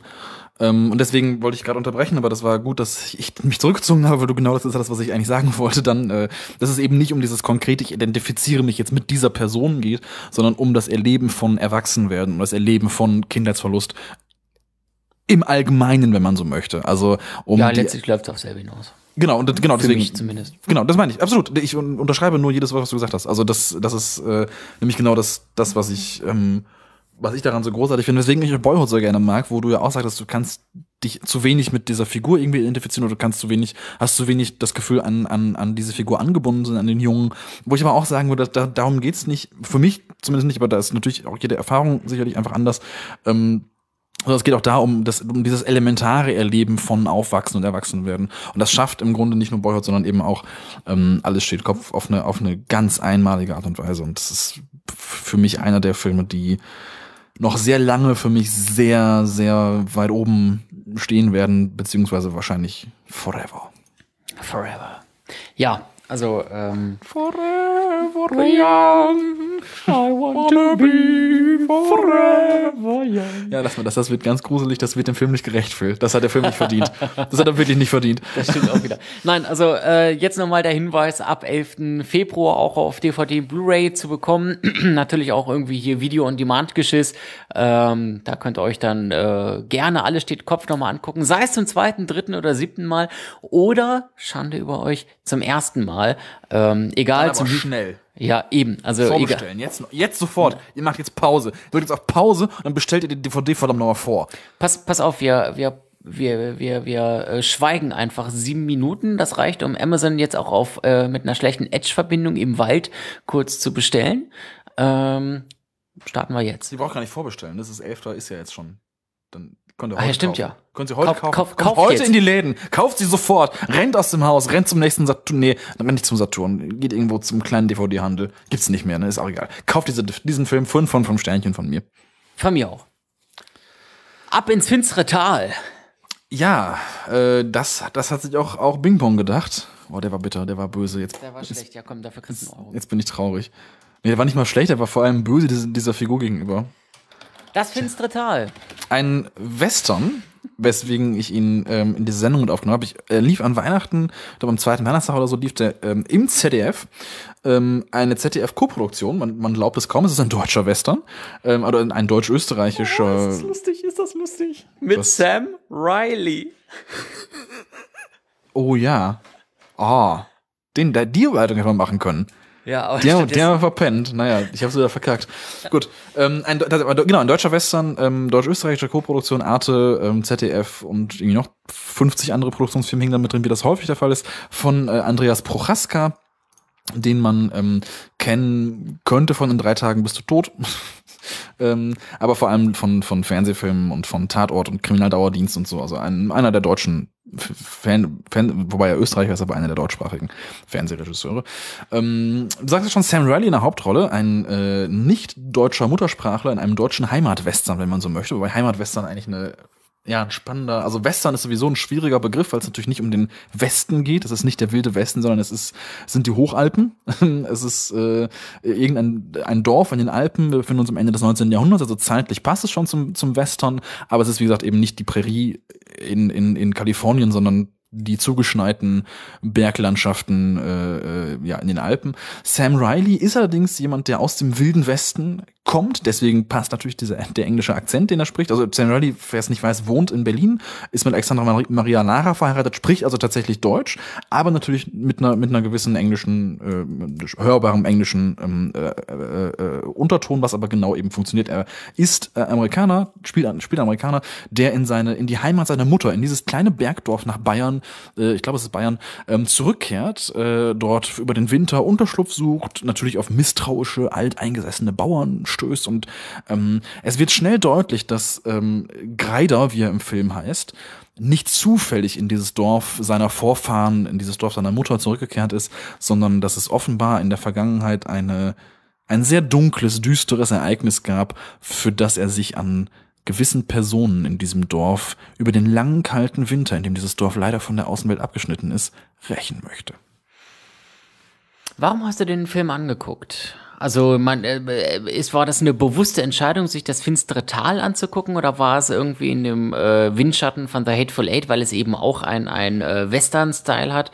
Ähm, weil einfach so, dass man jetzt sagt, ach Mensch, ich sitze hier auf dem Sofa, ich habe gerade nichts zu tun, ich schaue mir eine deutsch-österreichische Spielfilmproduktion, äh, gefördert von ZDF und 27 B- Medienboards an, ist ja eher ungewöhnlich. Findest du? Also tatsächlich war das genau der Punkt. Ach, genau, sehr gen- also war, also war Weihnachtsurlaub, wie gesagt, und ich saß halt am Fern Fernsehzeitung aufgeschlagen und normalerweise gucke ich einfach nicht viel Fernsehen, deswegen ist das ein bisschen ungewöhnlich jetzt für mich, aber wenn ich, wenn ich das, also tatsächlich erstmal eine ZDF-Arte Co-Produktion, wunderbar. Spricht tatsächlich erstmal dafür, dass es auf jeden Fall kein totaler Ausfall wird. Wenn es dann auch noch ein Film ist mit Sam Riley in der Hauptrolle, den ich ziemlich großartig finde, Tobias Moretti in einer der Nebenrollen, Clemens Schick in einer der Nebenrollen, ähm, gedreht von Andreas Prochaska, einfach einem durchaus soliden ähm, Regisseur. Ähm, und es handelt sich dabei um einen Western, also was heißt, ne, Western ist, wie gesagt, Western, Western ist schwierig, aber eine Mischung aus Western und Heimatfilm, der das finstere Tal heißt und eine bitter dunkle Rachegeschichte erzählt. Weiß ich nicht, finde ich, klingt, also ich bin auch ein großer Western-Fan, aber klingt erstmal total geil, finde ich. Oder find, findest du nicht? Ja, womit wir wieder bei der typischen Lars und Phil Western ist cool, Western ist blöd Diskussion sind. Ähm, beziehungsweise, dass ich dem Western wieder Unrecht tue, dass eigentlich die gesamte Menschheit dem Western Unrecht tut und dass Western viel vielfältiger äh, sei, als äh, es in der Öffentlichkeit immer dargestellt würde. Ähm, Ist aber, ist so. Naja, ich weiß. Ich meine, du, du hast gerade 5 von 5 für Hateful Eight gegeben. Nur kurz, also ich weiß nicht, ob das aufgefallen ist, also ich weiß, kann ja sein, aber Hateful Eight ist ein Western-Film, ne? Das ist, ich nehme ja noch einen Toffifee. das, soll, das sollte gar nicht böse sein. Das klang viel, viel, Ja, gemeiner, ja. viel gemeiner, als es gemeint war. Ja, ja. Ähm, Bei total. Wie findest du, wie findest du den Film? Ich sehe hier gerade, die Aus- Austrian Film Commission hat den Film als österreichischen Kandidaten für den Oscar in der Kategorie bester fremdsprachiger Film 2014 eingereicht. Hm, Scheint dafür nicht nominiert worden zu sein, wurde aber zumindest eingereicht, was ja schon mal zeigt, dass Australien, Quatsch, Quatsch, dass Österreich ziemlich ähm, ähm, den Film ziemlich gut findet, sogar so gut, dass sie den als ähm, Oscar-Kandidaten einreichen, ähm, kommt der Film tatsächlich diesem Anspruch nach. Ähm, ja, ich hätte ihm den Oscar sogar gegönnt, soweit würde ich gehen. Ähm, Oh. Tatsächlich, um vielleicht kurz das noch zu unterstreichen, weil du mir, ich habe das Gefühl, dass du, dass du dass du diesen Film so ein bisschen vorverurteilst, nur weil es ein Western ist und du Western doof findest. Niemals. Ähm, hat beim Deutschen Filmpreis 2014 neun Nominierungen und acht Preise bekommen. Also er hat äh, den, den Preis bekommen äh, dort für, ähm, es war natürlich das Jahr, wo er, wo er angetreten ist gegen die andere Heimat von Edgar Reitz, der zu Recht die großen Preise gewonnen hat. Aber beste Darsteller, beste männliche Hauptrolle, beste Kamera, ähm, bestes Szenenbild, bestes Kostümbild, bestes Maskenbild, bester Ton, beste Tongestaltung, ähm, alle gewonnen und war nominiert zudem noch für den besten Film, ähm, für den besten abendfüllenden, programmfüllenden äh, Spielfilm oder so, wie das, wie auch immer das heißt, äh, in, in diesen bescheuerten Kategoriennamen. Ähm, und hätte, das, wie gesagt, hätte das total ähm, ähm, verdient, hat dort auch den Silber, silbernen Preis immerhin als, als zweitbester Film sozusagen gewonnen. Ähm, und ist einfach genau das, was ich gerade beschrieben habe. Und wenn man, klar, wenn du mit Western nichts anfangen kannst, tut mir das sehr leid. Wenn du mit Hateful Eight was anfangen kannst, wird dir auch das finstere Tal gefallen, bin ich mir sehr sicher. Äh, ein Film, der in einem zugeschneiten, kalten, verhärmten, provinziellen, zurück hinter, im wahrsten Sinne des Wortes, hinterwälterischen Dorf in den bayerischen Hochalpen spielt, wo ein junger Amerikaner, der dem dessen, dessen, dessen Familie unglaubliches Unrecht angetan wird, sich einfach nur rächen möchte. Ohne Moral, also natürlich mit einer gewissen Moral, aber ohne, dass es irgendwie eine Form von Gerechtigkeit oder eine Form von, von höherem Zweck gibt. Es ist einfach kalte, eiskalte, dunkle Rache an den Männern, die seiner Mutter was getan haben. Und an allen, die damit verwandt sind und an allen, die da mal durchs Dorf gelaufen sind, so ungefähr. Also wirklich ein wirklich dunkler, dunkler Film, der dessen Zwölferfreigabe ich fast schon ein bisschen bedenklich finde, ähm, der ähm, es schafft, aber das einerseits wirklich als eine wahnsinnig düstere Geschichte zu erzählen, die aber auf eine Art zu erzählen, die wirklich Spaß macht. Ich spoilere nicht, wenn ich sage, ein, ein Showdown in diesem Film ist in super Slow Motion mit Elektropop unterlegt. Im Schnee. Mit viel Blut. Geil. Wirklich einfach geil. Ein Film, der toll aussieht, der die Stimmung exzellent inszeniert, dieses kalte, rachelüsterne, ähm, jenseits von allen Moralkodexen agierende, blinde ein Mann für sein Faustrecht, ähm, ist ein super düsterer, deprimierender, oder das ist deprimierender, super düsterer, bedrückender Film, ähm, fantastisch gespielt von, von allen Schauspielern, ähm, hätte den Oscar, wie gesagt, meines Erachtens verdient. Ich schau grad kurz, wer die Konkurrenz gewesen wäre. Ich glaube, die Konkurrenz wäre La Grande Bellezza. Okay, dann muss ich ist es La Grande Bellezza? Ja, ist La Grande Bellezza, dann muss ich zurückziehen. ähm, das, da, da kommt wirklich nichts dran, aber das finstere Tal von mir trotzdem, ich hoffe, ich konnte dich ein bisschen dafür begeistern. Fünf von fünf Sternchen. Hat sehr viel Ähnlichkeit mit, mit Hateful Eight. Boah. Wer Also hat halt auch nicht viel vom Western, weil ich meine, sie, rei sie reiten, sie reiten halt nicht durch die Gegend, sie bleiben in diesem Dorf. Im Grunde ist es eine Rachegeschichte, die im Bergdorf spielt. Ende des 19. Jahrhunderts. Also es gibt nicht viel Rumgereite und Prärie, weil es eben insofern kein Western ist. Also auch für jemanden wie dich, Phil, der jetzt Western nicht so richtig geil findet, unbedingt mal angucken. Ich bin mir sicher, der wird dir gefallen. Wirklich, absolut sicher. Den Film gibt es dank den Informationen von werstream.es. Alter, für unfassbar viel Geld. Nämlich für 7,99 Euro kannst du ihn kaufen bei Amazon. Ach so, digital in SD oder 9,99 äh, für in HD bei allen großen Händlern, sei es Amazon, Maxdome, Wuaki, ja auch. Übrigens äh, behaltet wuaki.tv durchaus mal im Blick. Die haben immer ganz gute, ähm, ganz gute Film-Specials, wo sie dann auch für ein paar Euros oder gar nur für einen Euro im Grunde ganz gute Filme raushauen. Google Play auch hier fleißig dabei. Naja.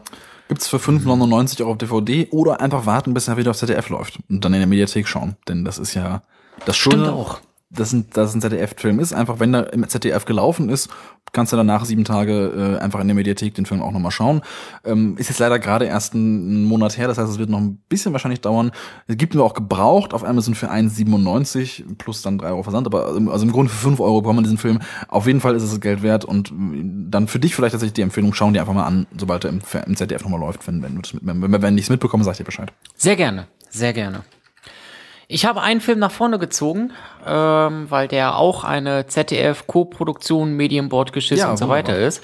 Ähm, womit ich sozusagen meiner eigenen äh, äh, meiner eigenen kecken These von gerade eben widersprochen habe, nämlich auch ich habe mir diesen Film ja angeguckt. Ich habe ihn mir aber nicht angeguckt, weil er irgendwie eine ZDF-Co-Produktion ist. Sondern aber das verstehe ich aber tatsächlich nicht, warum, warum du so gegen ZDF-Produktionen hatest. Also Nein, hate tue ich gar nicht.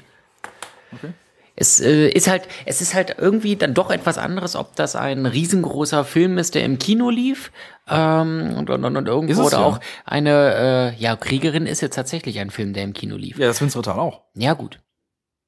Also ZDF aber, aber sag, produziert oh, ja auch Filme fürs Kino. Dass es Filme sind, die äh, groß promoted werden, die in Hunderten, Tausenden, na Hunderten wahrscheinlich eher von Kinos laufen, die die Kinocharts da richtig oben in den Top 5 bewegen. Das sind ja eher so die Filme, die man, wenn man so beim äh, Filmamt da sitzt, dann die einem so eher ins in, ins Gedächtnis springen ähm, und auch anspringen, wenn man so durch die äh, Dings durchskippt als äh, Filme, die eben dann mal auf dem ZDF liefen, die vom ZDF produziert wurden und vielleicht in 50 oder 100 Kinos äh, deutschlandweit liefen und äh, dort dann vielleicht auf Platz 15, Platz 20 der Kinocharts landeten, weil sie einfach nicht diese, diese, diese im übertragenen Sinne Lautstärke haben wie die anderen, sondern die werden von anderen ähm, dann übertüncht. Und äh, von daher, zumindest ist es bei mir so, springen mich natürlich, wenn ich durch Filme durchskippe, eher Filme an, die einen großen Namen haben, wo ich den Namen sehe und sage, ach ja, stimmt ja, den äh, kennst du, du weißt im Groben, worum es geht, ähm, als dass ich dann bei das finstere Tal hängen bleiben würde zur Filmauswahl. Ja, also ich, ich will die Diskussion jetzt gar nicht weiter ausweiten. Bei mir ist es halt auf jeden Fall nicht so. Aber also auch, aber ich würde halt auch immer versuchen, also ich schaue, wenn ich Filme schaue, auch immer, wenn ich dann irgendwie durch, durch irgendwas durchskippe oder durch Fernsehsendung blätter oder so, ähm, auch nach Filmen, die mich aus anderen Gründen als großen Namen halt anspringen, beziehungsweise be teilweise bewusst auch bei kleineren Namen, weil ich weiß, das ist ein toller Regisseur, kennt zwar keine Sau, aber mir gefallen die Filme. Also insofern ähm, ist es dadurch einfach ein anderes Verhalten. Aber Kriegerin habe ich im Kino gesehen und fand ihn ziemlich fantastisch. Worum geht's? Ein Film aus dem Jahre 2012. Äh, auch da eine, eine deutsche Produktion, auch wieder mit ZDF da äh, mit drinne, um das jetzt nochmal kurz aufzugreifen. Es geht um ähm, zwei junge Frauen, eine von denen ist Marisa, ähm, die gehört zur rechtsextre rechtsextremen Szene äh, in so einer ostdeutschen Kleinstadt und äh, ja, ist da voll etabliert und schlägt Jugendliche, äh, schlägt Ausländer zusammen, pöbelt, provoziert, ähm, trinkt, säuft, äh, zerstört, ähm, erfüllt also tatsächlich äh, ein äh, Klischee der, des typischen echten recht, rechtsextremen Neonazis. Ähm, sie ist auch entsprechend tätowiert und so weiter und so fort. Ähm, und äh, ja, irgendwann wird sie provoziert von, ähm, ich weiß gar nicht, von, von was für Ausländern, auf jeden Fall von äh, Ausländern, die nicht ihre Sprache sprechen, irgendwo auch so ähm, eher so, so äh, Südosten von Europa oder sowas, ähm, wird sie provoziert und sie lässt sich so weit provozieren, dass äh, sie äh, dann diese beiden Jungs tatsächlich äh, ja verletzt, stark verletzt. Und äh, das, das macht irgendwie bei ihr Klick und sie sagt, Alter, was habe ich da gerade getan? Und ähm, guckt, dass sie gerade, dass sie vielleicht irgendwo sich von dieser ganzen rechten Sache so ein bisschen lösen kann. Auf der anderen Seite hast du dann aber auch äh, Svenja, äh, ein, ein total biederes Mädchen, ähm, was äh, ja normal zur Schule geht und weiß ich nicht alles ähm, und dann irgendwie Interesse findet an dieser rechtsextremen Szene, wo sie sich wirklich mal äh, ausleben kann, wo sie ähm, das machen kann, was sie will und nicht unterdrückt wird wie zu Hause, wo sie genommen wird, wie es ist, wo sie saufen kann, wo sie rauchen kann, wo sie sich nicht dafür rechtfertigen muss, dass sie raucht, sondern wo das vollkommen normal ist. Ähm, und so findet sie den Einstieg in die rechtsextreme, rechtsextreme Szene. Ähm, und so sieht man Marisa und Svenja im Grunde mit zwei ganz verschiedenen Tendenzen, aber die, die, äh, der Kernpunkt oder die Gemeinsamkeit ist an der Stelle die rechtsextreme Szene. Ähm, ja, und so verfolgt man die beiden äh, Schicksale der Mädels. Ist bei mir ein bisschen was her, dass ich ihn gesehen habe. Ich erinnere mich dran, wie gesagt, ich fand ihn ganz fantastisch, fand David Rent der damit sein Debüt gegeben hat, oder nicht sein Debüt, aber damit sein, sein Kinodebüt, glaube ich, hatte. Ähm, oder zumindest das, ich glaube, sein Kinodebüt. Ich glaube, es ist sein Kinodebüt, es ist nämlich sein Abschlussfilm gewesen von der, von der Uni. Ah ja, okay, das ist genau. Fand ich total beeindruckend und weiß nur, dass ich mit einem ganz, ganz mulmigen Gefühl aus dem Saal gegangen bin und wirklich ein Film war, der mich, so der, der sich so ein bisschen anfühlt wie so ein Schlag in die Magengruppe, wenn man da rauskommt. Ja, das stimmt. Das stimmt. Ähm, zu meinem großen also bevor ich auch darauf eingehe, zu meinem, bevor ich vergesse, die, äh, zu meinem großen, zu meiner großen Überraschung, Jella Hase spielt mit. Kennen wir als Chantal sozusagen aus äh, Oh ja, Goethe. stimmt. Und äh, Jella Hase spielt auch eine Hauptrolle, nämlich die Svenja, das ist nochmal zur Erinnerung das Mädel, was äh, aus dem biederen Haushalt kommt und sie dann in die rechtsextreme Szene reinrutscht. Ähm, und sie spielt auch da bereits schon sehr, sehr gut. Ich meine, wir haben Jella, äh, jeder kennt Jella Hase als Chantal aus Fuck you Goethe. Wir haben sie jetzt vor kurzem in einer ernsteren Rolle gesehen äh, in Vier Könige und ähm, so eine ernste Rolle nimmt sie auch in Kriegerin ein und äh, ja, das ist wirklich eine ganz, ganz große Schauspielerin, muss man da nochmal wirklich dann sagen. Wurde auch mehrfach dafür ausgezeichnet, war so ihr erster großer Film, der dann, äh, wo sie, wo sie mitspielte ähm, womit sie auch so mit den Durchbruch schaffte in der deutschen Filmszene. Ähm, ja, und wie gesagt, viel für beste Nachwuchsdarstellerin ausgezeichnet und das vollkommen zu Recht. Ja, absolut. Ich erinnere mich gerade tatsächlich, ich hatte es total vergessen, dass es Jella Hase ist, aber jetzt, wo du es sagst, klar, völlig, völlig richtig. Hatte ich total vergessen. Ja, wunderbar, ganz wunderbar gespielt im Film.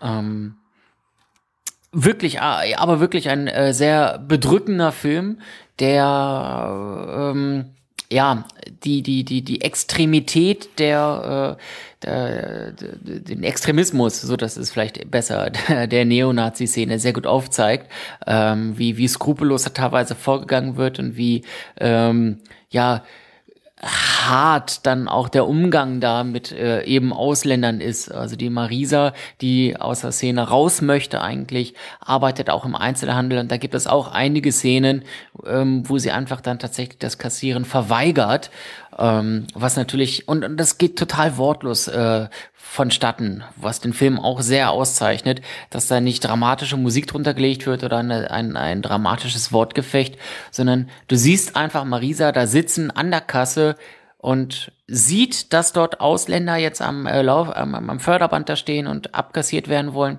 und sie holt ganz demonstrativ die Zeitung heraus und fängt an, diese Zeitung zu lesen. Das sind äh, so diese, diese kleinen Momente, wo du einfach merkst, wie, wie ähm, hart und kalt eigentlich diese Szene ist.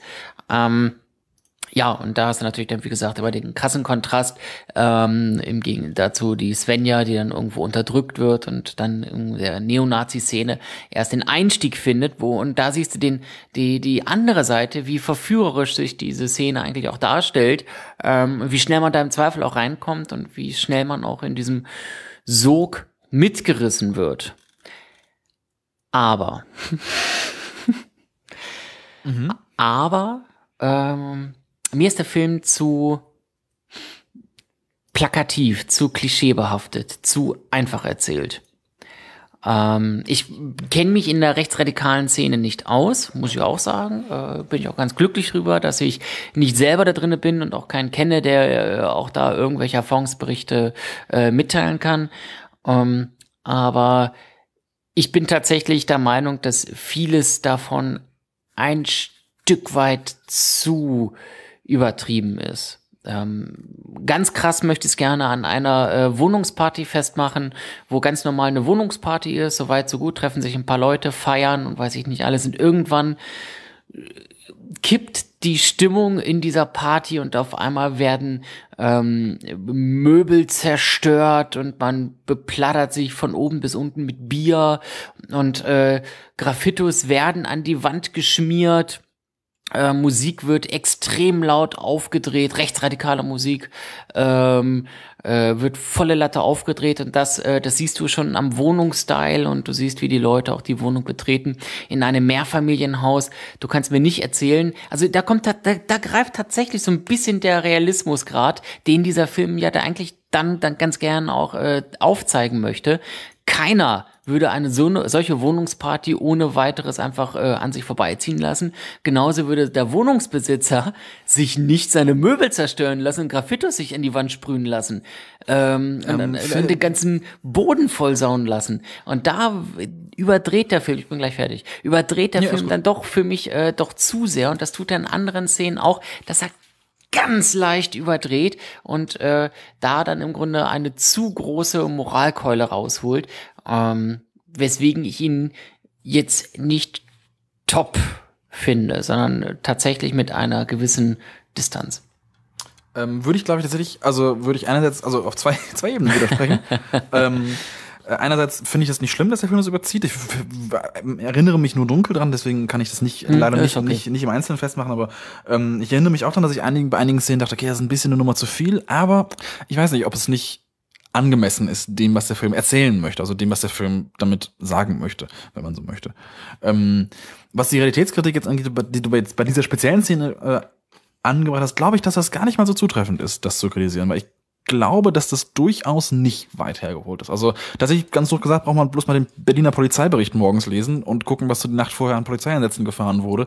Und man wundert sich, was ähm, Menschen mit ihren Wohnungen anstellen. Und ich glaube tatsächlich, dass das, dass diese Art von Party, wie auch immer typisch oder untypisch jetzt für das rechte Milieu sein mag, keine Ahnung, aber ähm, es gibt solche Partys und ähm, dient in diesem Fall nicht, und tatsächlich ganz doof gesagt, wenn über dir eine Horde Nazis, irgendwie 20 Nazis rechtsradikale Musik hören, sich sowieso den Körper einschlagen, würdest du ernsthaft dagegen irgendwas unternehmen, anders als deine Tür zu verbarrikadieren und zu hoffen, dass du die Nacht überlebst? Also, weiß ich nicht, finde ich, finde ich alles nicht so unschlüssig und tatsächlich einfach glaube ich, nicht, nicht so weit hergeholt, sondern schon ähm, auf einer gewissen Grundlage, dass es solche, solche Partys durchaus, durchaus gibt. Aber selbst wenn nicht, fände fänd ich es halt nicht schlimm. Also wenn der Film das nutzt, um, Ja, um eine gewisse Charakterisierung zu zeichnen. zu, zu alles, es ist mir alles zu klischeebehaftet. Die wilden Nazis, die da wilde Partys feiern, die bei dieser Party ja auch noch, wie heißt der Film? Habe ich übrigens gestern herausgefunden, dass die Monau-Stiftung sowas ja auch verwaltet, nämlich solche Verschlussfilme, äh, Vorwahlsfilm heißt es. Vor Vorbehaltsfilme, ganz genau. Ähm, und die Schreibt gucken, Frau Köhler gerade eine Hausarbeit drüber. Sehr Äh. spannendes Thema. Ganz genau. Also äh, du kannst ja, während ich hier äh, nachschlage, nochmal ganz kurz den Hi- Hintergrund eines Vorbehaltsfilms definieren. Ähm, Vorbehaltsfilme bezeichnet die Filme, die, die, also die Monau-Stiftung, die wir ja auch unterstützen jeden, ähm, jede, jedes Jahr, ähm, die Großteile des deutschen Filmerbes verwaltet, weil sie die Rechteinhaberin für diese, für die Filmrechte ist, hat eben auch die Filmrechte an, ich glaube, so ziemlich allen Filmen, die im Dritten Reich produziert wurden, hat einfach Ja. die UFA-Rechte übernommen und da fallen natürlich im Dritten Reich, nicht groß wund- verwunderlich, auch den, der ein oder andere Film fällt darunter, der sehr problematisch ist, was seine politische ähm, Agenda angeht. Also natürlich vor allem so die großen bekannten Beispiele Jud Süß äh, und solche Dinge. Ähm, das sind die dann sogenannten Vorbehaltsfilme, die dürfen nicht öffentlich vertrieben werden, weil die Mono-Stiftung nach wie vor die Rechte daran ähm, hält als Stiftung. Das heißt, es gibt keine, in Deutschland keine DVD-Auflagen. Natürlich, pff, ne, wir wissen alle, brauchst bloß drei Schritte ins Internet gehen und kannst halt auch den ganzen Scheiß importieren.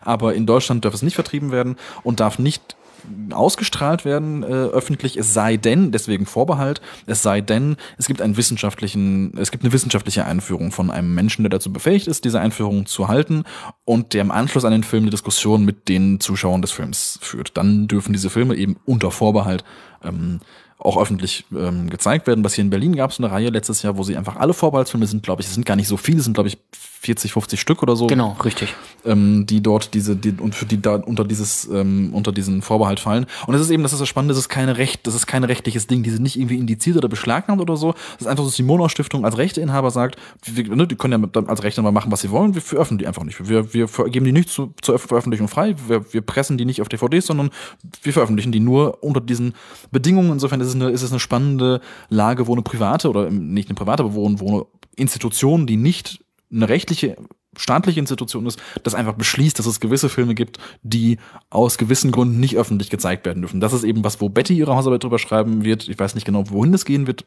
Sie ist noch in, noch in der Vorbereitungsphase. Aber eben sich zu fragen, okay, wie sinnvoll ist das noch, wenn du sowieso bei Amazon UK dir den ganzen Scheiß auch auf DVD kaufen kannst in englischen Editionen, wo es immer eine Geschenkbox gibt mit Jut Süß und drei anderen Filmen, wo ne, man sich auch fragen kann, viel, sehr, sehr schwieriges Feld, wo auf jeden Fall aber dieser Vorbehaltsbegriff ähm, auch nicht ganz unproblematisch ist. Das habe ich viel zu viel geredet, sorry.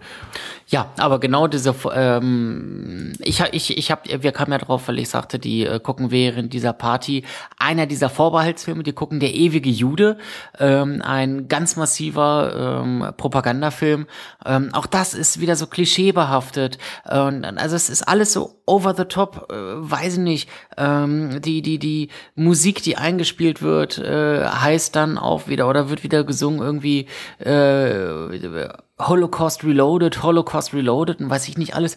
Das ist alles so Oh, so ich weiß Klischee, nicht, so ja, dick, so weiß ich nicht, weiß ich wirklich nicht. Also gerade diese Rechtsrockbands sind leider auch ziemlich erfolgreich in natürlich der Szene, aber da halt durchschlagend. Ich weiß nicht, ob du nicht, also ich habe da auch nicht viel mehr Ahnung von natürlich. Glücklicherweise. Ähm, das heißt, glücklicherweise, man müsste, eigentlich müsste man viel mehr Ahnung haben aus eben nicht der Perspektive, ich mache da mit, sondern ich weiß immerhin Bescheid, was da passiert. Aber wie, wie soll man das schon machen? Aber ähm, ich, ich, ich weiß nicht, ob das nicht vielleicht weniger Klischees sind, als man sich, als man das vielleicht gerne hätte. Also es ist natürlich beunruhigend, das zu sehen.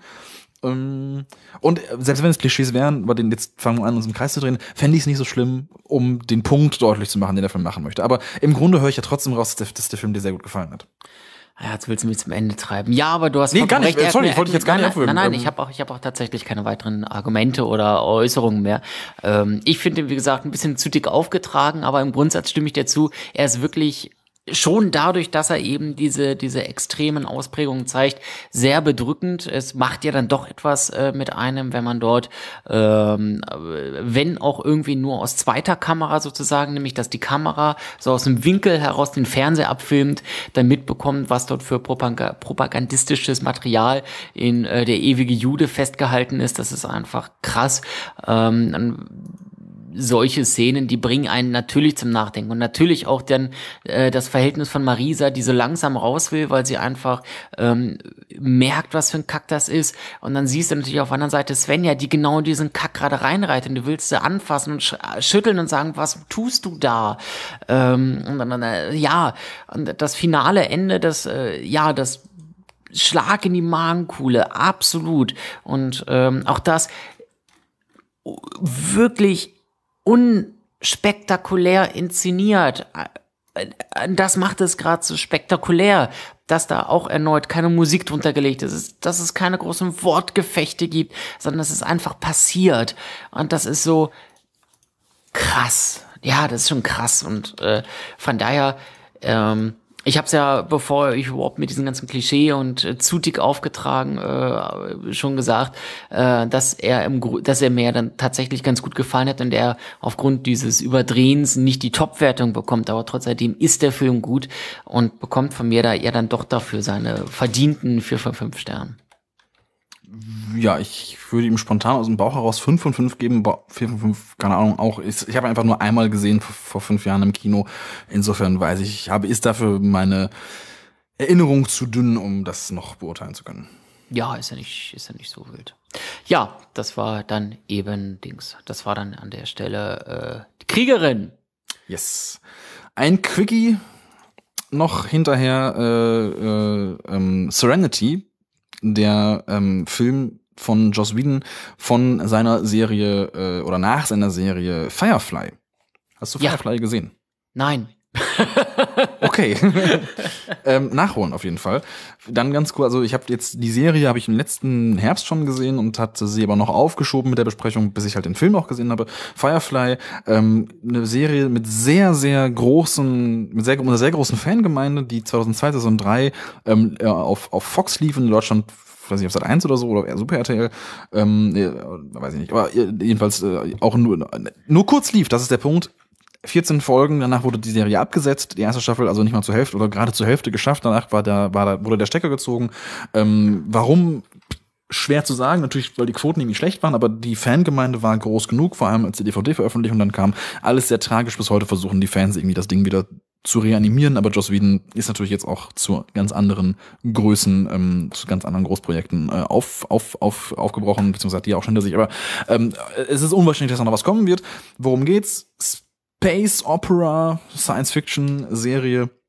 Eine Gruppe von von ja so typischen Outlaws äh, äh, fliegt mit einem kleinen äh, Raumschiff äh, der Firefly-Klasse, ähm, so einem kleinen Transportraumschiff zwischen den Planeten hin und her und ja macht halt Auftragsarbeit, um sich über Wasser zu halten. Natürlich auch durchaus schmutzige Auftragsarbeit und trifft so von Episode zu Episode ähm, verschiedenste äh, ja, Handlungsstränge oder trifft eben auch verschiedenste Personen. Ähm, und dem allen äh, übergestülpt sozusagen ist die große Erzählung, die natürlich irgendwie auch dazu gehört, dass das, das, die, das große böse Imperium, hier heißt es, glaube ich, Allianz in diesem Fall, ähm, beherrscht irgendwie die Galaxis. Die äh, Crew der Serenity, so heißt dieses Schiff, ähm, ist natürlich jetzt nicht unbedingt auf Seiten der Allianz, sondern sieht sich schon eher als natürlich irgendwie im freien äh, Universum umhertreibend, ohne die Regeln der Allianz. Und ähm, zwei äh, Gäste an Bord dieses Schiffs werden tatsächlich auch unter höchstem Aufwand von der Allianz, ich weiß, heißen die die Allianz? Ich bin mir gerade echt gar nicht sicher. Ich bitte um Verzeihung, falls, es, falls ich jetzt hier völlig einen falschen ähm, Namen äh, benutze. Allianz ist doch richtig. Werden von Allianz gesucht, ähm, als äh, weil äh, die die junge River ähm, heißt sie in der Serie, gespielt von der wunderbaren Summer Glau, ähm, äh, aus einem äh, Hochsicherheitstrakt äh, gewissermaßen ausgebrochen ist, aber nicht, weil sie dort eingesperrt war als Verbrecherin, sondern weil sie dort ähm, gegen ihren Willen zu Gehirnexperimenten festgehalten wurde. Und wir stellen schnell fest, dass ähm, die Allianz offenbar ein sehr großes Interesse hatte, die daraus, das daraus entstandene Wesen River, was mal ein Mensch war, vielleicht äh, zurückzubekommen, weil River offenbar ähm, ja übernatürliche Fähigkeiten besitzt. Und so haben wir also auf jeden Fall eine ganz interessante Crew, die sich von Episode zu Episode hangelt und gleichzeitig irgendwie einen sehr packenden, overarching Storybogen. Ähm, und leider, leider nur 14 Sendungen, 14 Episoden, wo natürlich das alles nur angerissen wird und wir nie erfahren, was hätte daraus werden können. Dö, dö, dö. Ja, ja, so ist das. Also. Man wird nie erfahren, was draus, draus geworden ist. Auf der anderen Seite ähm, kommt der Film trotz seiner unklaren, äh, seinem unklaren Ende ja dann doch äh, ganz gut an. Also ich habe hier mal wieder die Filmkompetenz Wikipedia aufgerufen und äh, da gibt es zum Beispiel ein äh, Zitat aus der FAZ, geschrieben von äh, Dietmar Dart. Und der bezeichnet Serenity als ein Film, der an so vielen Stellen, an denen sich das ästhetische Entscheidungsbäumchen für Drehbuch, Dekor und Darsteller gabelt, den richtigen Weg eingeschlagen hat. Ja, Dietmar Das klingt, Dart. das klingt ähm, unfassbar hochtrabend, aber vielleicht ist es das. Dietmar Dart, tatsächlich ein Science-Fiction-Autor, ein Deutscher, der, ähm, oder was heißt ein Science-Fiction-Autor schon, aber der halt sehr hochtrabende Science-Fiction schreibt mit intellektuellem Gehalts und dergleichen. Ähm, nee, aber tatsächlich ein, ein toller Autor. Ich muss unbedingt dringend mal was von ihm lesen. Steht auf meiner Amazon-Wunschliste, glaube ich, mit drei Büchern oder so mittlerweile. Ähm, Finde ich sehr spannend. Ähm, ich habe vergessen, was du, was du gesagt hast gerade. Was, was hat er gesagt? Der hat äh, gesagt, ein Film, der an so vielen Stellen, an denen sich das ästhetische Entscheidungsbäumchen für Drehbuch, Dekor und Gar Darsteller gabelt, den richtigen Weg eingeschlagen hat. Ja, ich weiß also nicht, welchen Weg er damit meint, aber ich glaube auch, dass es den richtigen Weg eingeschlagen hat. Also das, das, was ist das für eine scheiß Kritik? Kann, kann uns vielleicht bitte wenigstens sagen, was er jetzt glaubt, welchen Weg die Serie ähm, Also für mich den Weg der Darsteller. Also tatsächlich ein, eine Serie, die sich sehr, sehr auf die Figuren eben konzentriert, auf, auf die Arbeit mit den, mit den Rollen, ähm, wo wir eben diesen, diesen kleinen, äh, eingeschlossenen Raum in diesem Raumschiff, diesen kleinen Raumschiffchen haben, was durch die, durch die, durch die Planeten tingelt und natürlich da sich eine, ja, so eine Art Pseudo-Familienstruktur Ähm, äh, äh. Phil schickt mir einen tanzenden Affen bei Skype. Der nicht nur tanzt, also ich finde diese Bewegungen von diesem Affen Ja. geradezu missverständlich. Jetzt macht er einen Schneeengel, super großartig. Ähm, genau, tolle Serie, tolle, ja, Close, Drama, Kammerspiel im Grunde mit, mit Kammerspielsequenzen. Sehr spannende Episoden, wurde leider abgesetzt. Auf jeden Fall gibt's auf Netflix. Trotzdem reingucken. Die 14 Episoden kann man dementsprechend auch schnell gucken. Dann ist die Serie nämlich vorbei. Äh, Und dann die Filme hinterher schieben. Serenity ähm, hieß dann der Film, der 2005 ins Kino kam. Äh, der ist leider ein bisschen langweilig. Da wird dann natürlich alles nochmal aufgegriffen, was in der Serie nicht abgeschlossen wurde. Äh, die ganzen offenen, offenen Enden werden mal mehr, mal weniger gekonnt zu einem halbwegs runden Ganzen gebogen. Hat mir nicht so richtig gut gefallen und mir ging es jetzt eher darum, nochmal zu erwähnen, für die wenigen, die vielleicht für, wie du, wie dich, Firefly noch nicht gesehen haben und ich habe es ja bis Herbst auch noch nicht gesehen, insofern ist das ja auch keine Schande, aber deswegen nochmal die Empfehlung auszusprechen, Firefly auf jeden Fall zu schauen. Gibt's auf Netflix, wunderbare Serie und sehr, sehr schade, dass sie abgesetzt wurde. Ich schicke dir jetzt noch einen tanzenden Pinguin. Das ist ziemlich großartig. Ja, finde ich auch. Ähm, und kann aber für die Hörer an der Stelle auch sagen, dass das jetzt schon wieder die gesehenen Filme waren. Wir schieben sehr effektiv unsere gesehenen Filme von Weihnachtsserien vor uns her. Ich habe ja, ich habe ich hab einen nachgeholt heute. Hm? Du hast einen nachgeholt, ganz genau. Ich habe ja vor äh, wenigen Wochen auch äh, Thirst und äh, Blind nachgeholt, zwei asiatische Thriller, die man sich auch sehr gut angucken kann. Nichtsdestotrotz schiebe ich weiterhin noch Kartoffelsalat, It Follows, Vergiss mein nicht, Housebound, Cold Water, Die Grauzone, XXY, Roter Drache und fünf Jahre Leben vor mir her. Und du hast ja immer noch Notting Hill, vier Hochzeiten und eine Beerdigung, wie es heißt. Und ein Todesfall. Und ein Todesfall. Und Radio Rock Revolution. Schiebst ja auch noch vor dir her.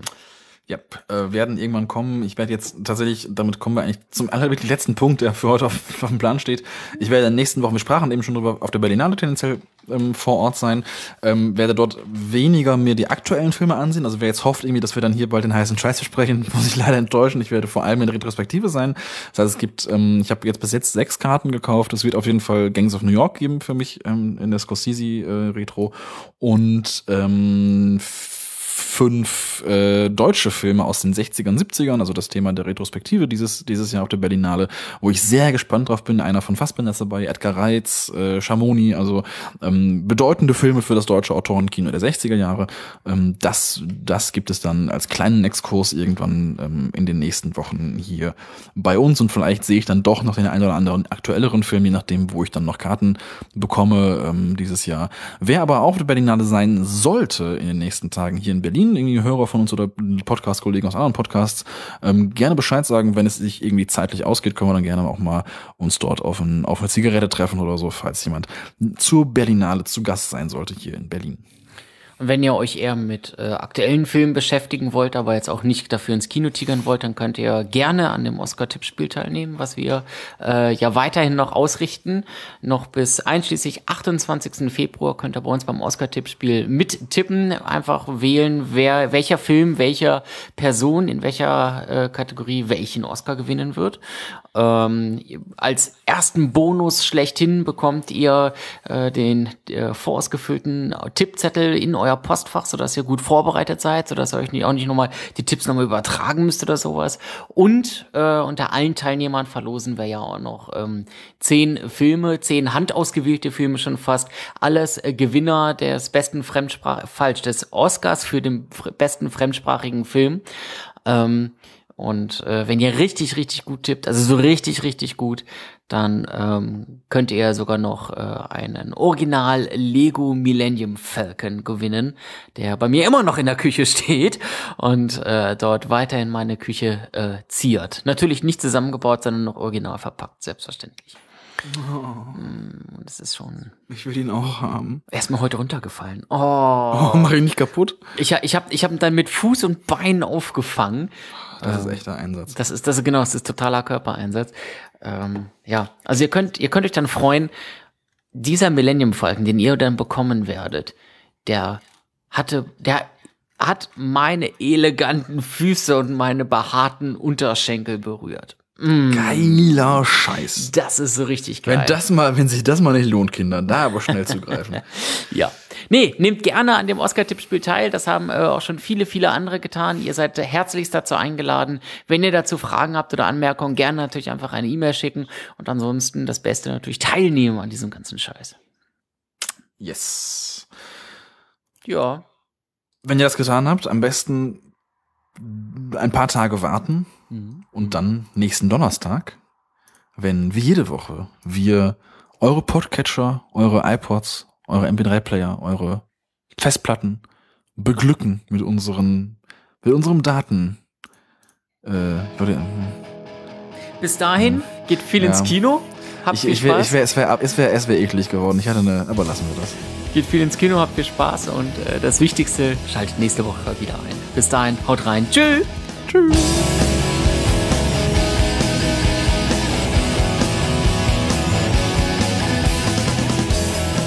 So, da sind wir nochmal ganz quer reingegrätscht in das Outro, weil äh, wir eine richtige Hot, Hot, Hot News noch für euch haben. Nein, äh, klingt jetzt hot, äh, weittreibender als es ist, aber wir sprachen gerade über Kriegerinnen und wir sind gerade so ein bisschen in der Post-Production und Lars, du hast noch eine ganz aktuelle Info zur Kriegerin nachzuschieben. Ja, wirklich ungefähr eine Minute oder fünf Minuten, nachdem wir äh, die Aufnahme beendet haben, kommt in meinen Twitter-Feed reingepurzelt vom ZDF, äh, selber gepostet. Ähm, Kriegerin ist in der Mediathek. Der, der ist seit heute, also seit auf Tag der Aufnahme 9.2., ähm, das heißt für euch seit vorgestern, wenn ihr das aktuell hört, ist er ähm, in der Mediathek, ZDF-Mediathek äh, zu sehen zwischen 20 und 6 Uhr, weil es natürlich eine 16er Freigabe ist und die tolle ZDF-Mediathek äh, sich um euren Jugendschutz viele Sorgen macht. Das heißt, ab 20 Uhr abends könnt ihr Kriegerin ähm, schauen bis zum 15.2., also noch bis zum Montag. Ähm, das äh, ist jetzt nicht so mega lang, aber auf jeden Fall reicht es, um den Film zu sehen, wenn ihr das hier rechtzeitig hört und sei euch auf jeden Fall äh, äh, empfohlen, das dann nachzuholen, wenn ihr es noch nicht geschafft habt, den Film zu sehen. Wir sprachen ja drüber. Äh, Spult nochmal zurück, wenn ihr es verpennt habt. Ähm, lohnt sich auf jeden Fall. Und falls er durchgerutscht ist, das habe ich in der Sendung auch noch nicht gesagt, ich habe ihn bei Amazon gesehen, dort gibt es ihn im, äh, nee, Entschuldigung, bei Netflix habe ich ihn gesehen, dort gibt es ihn im Streaming, ähm, also auch da könnt ihr dann, sofern es dann mit der Mediathek nicht geklappt hat, noch nachholen. Falls ihr nicht bei den Streaming-Diensten seid, Streaming-Diensten seit einer Woche in die Mediathek vom ZDF schauen. Einfach da suchen, findet ihr sofort. So, jetzt aber, habt viel Spaß, viel Kino und sowas, ihr kennt den ganzen Geschiss, bis dahin, haut rein, tschüss. Tschüss. Dieser Titel stammt von der Erfurter Band From Us.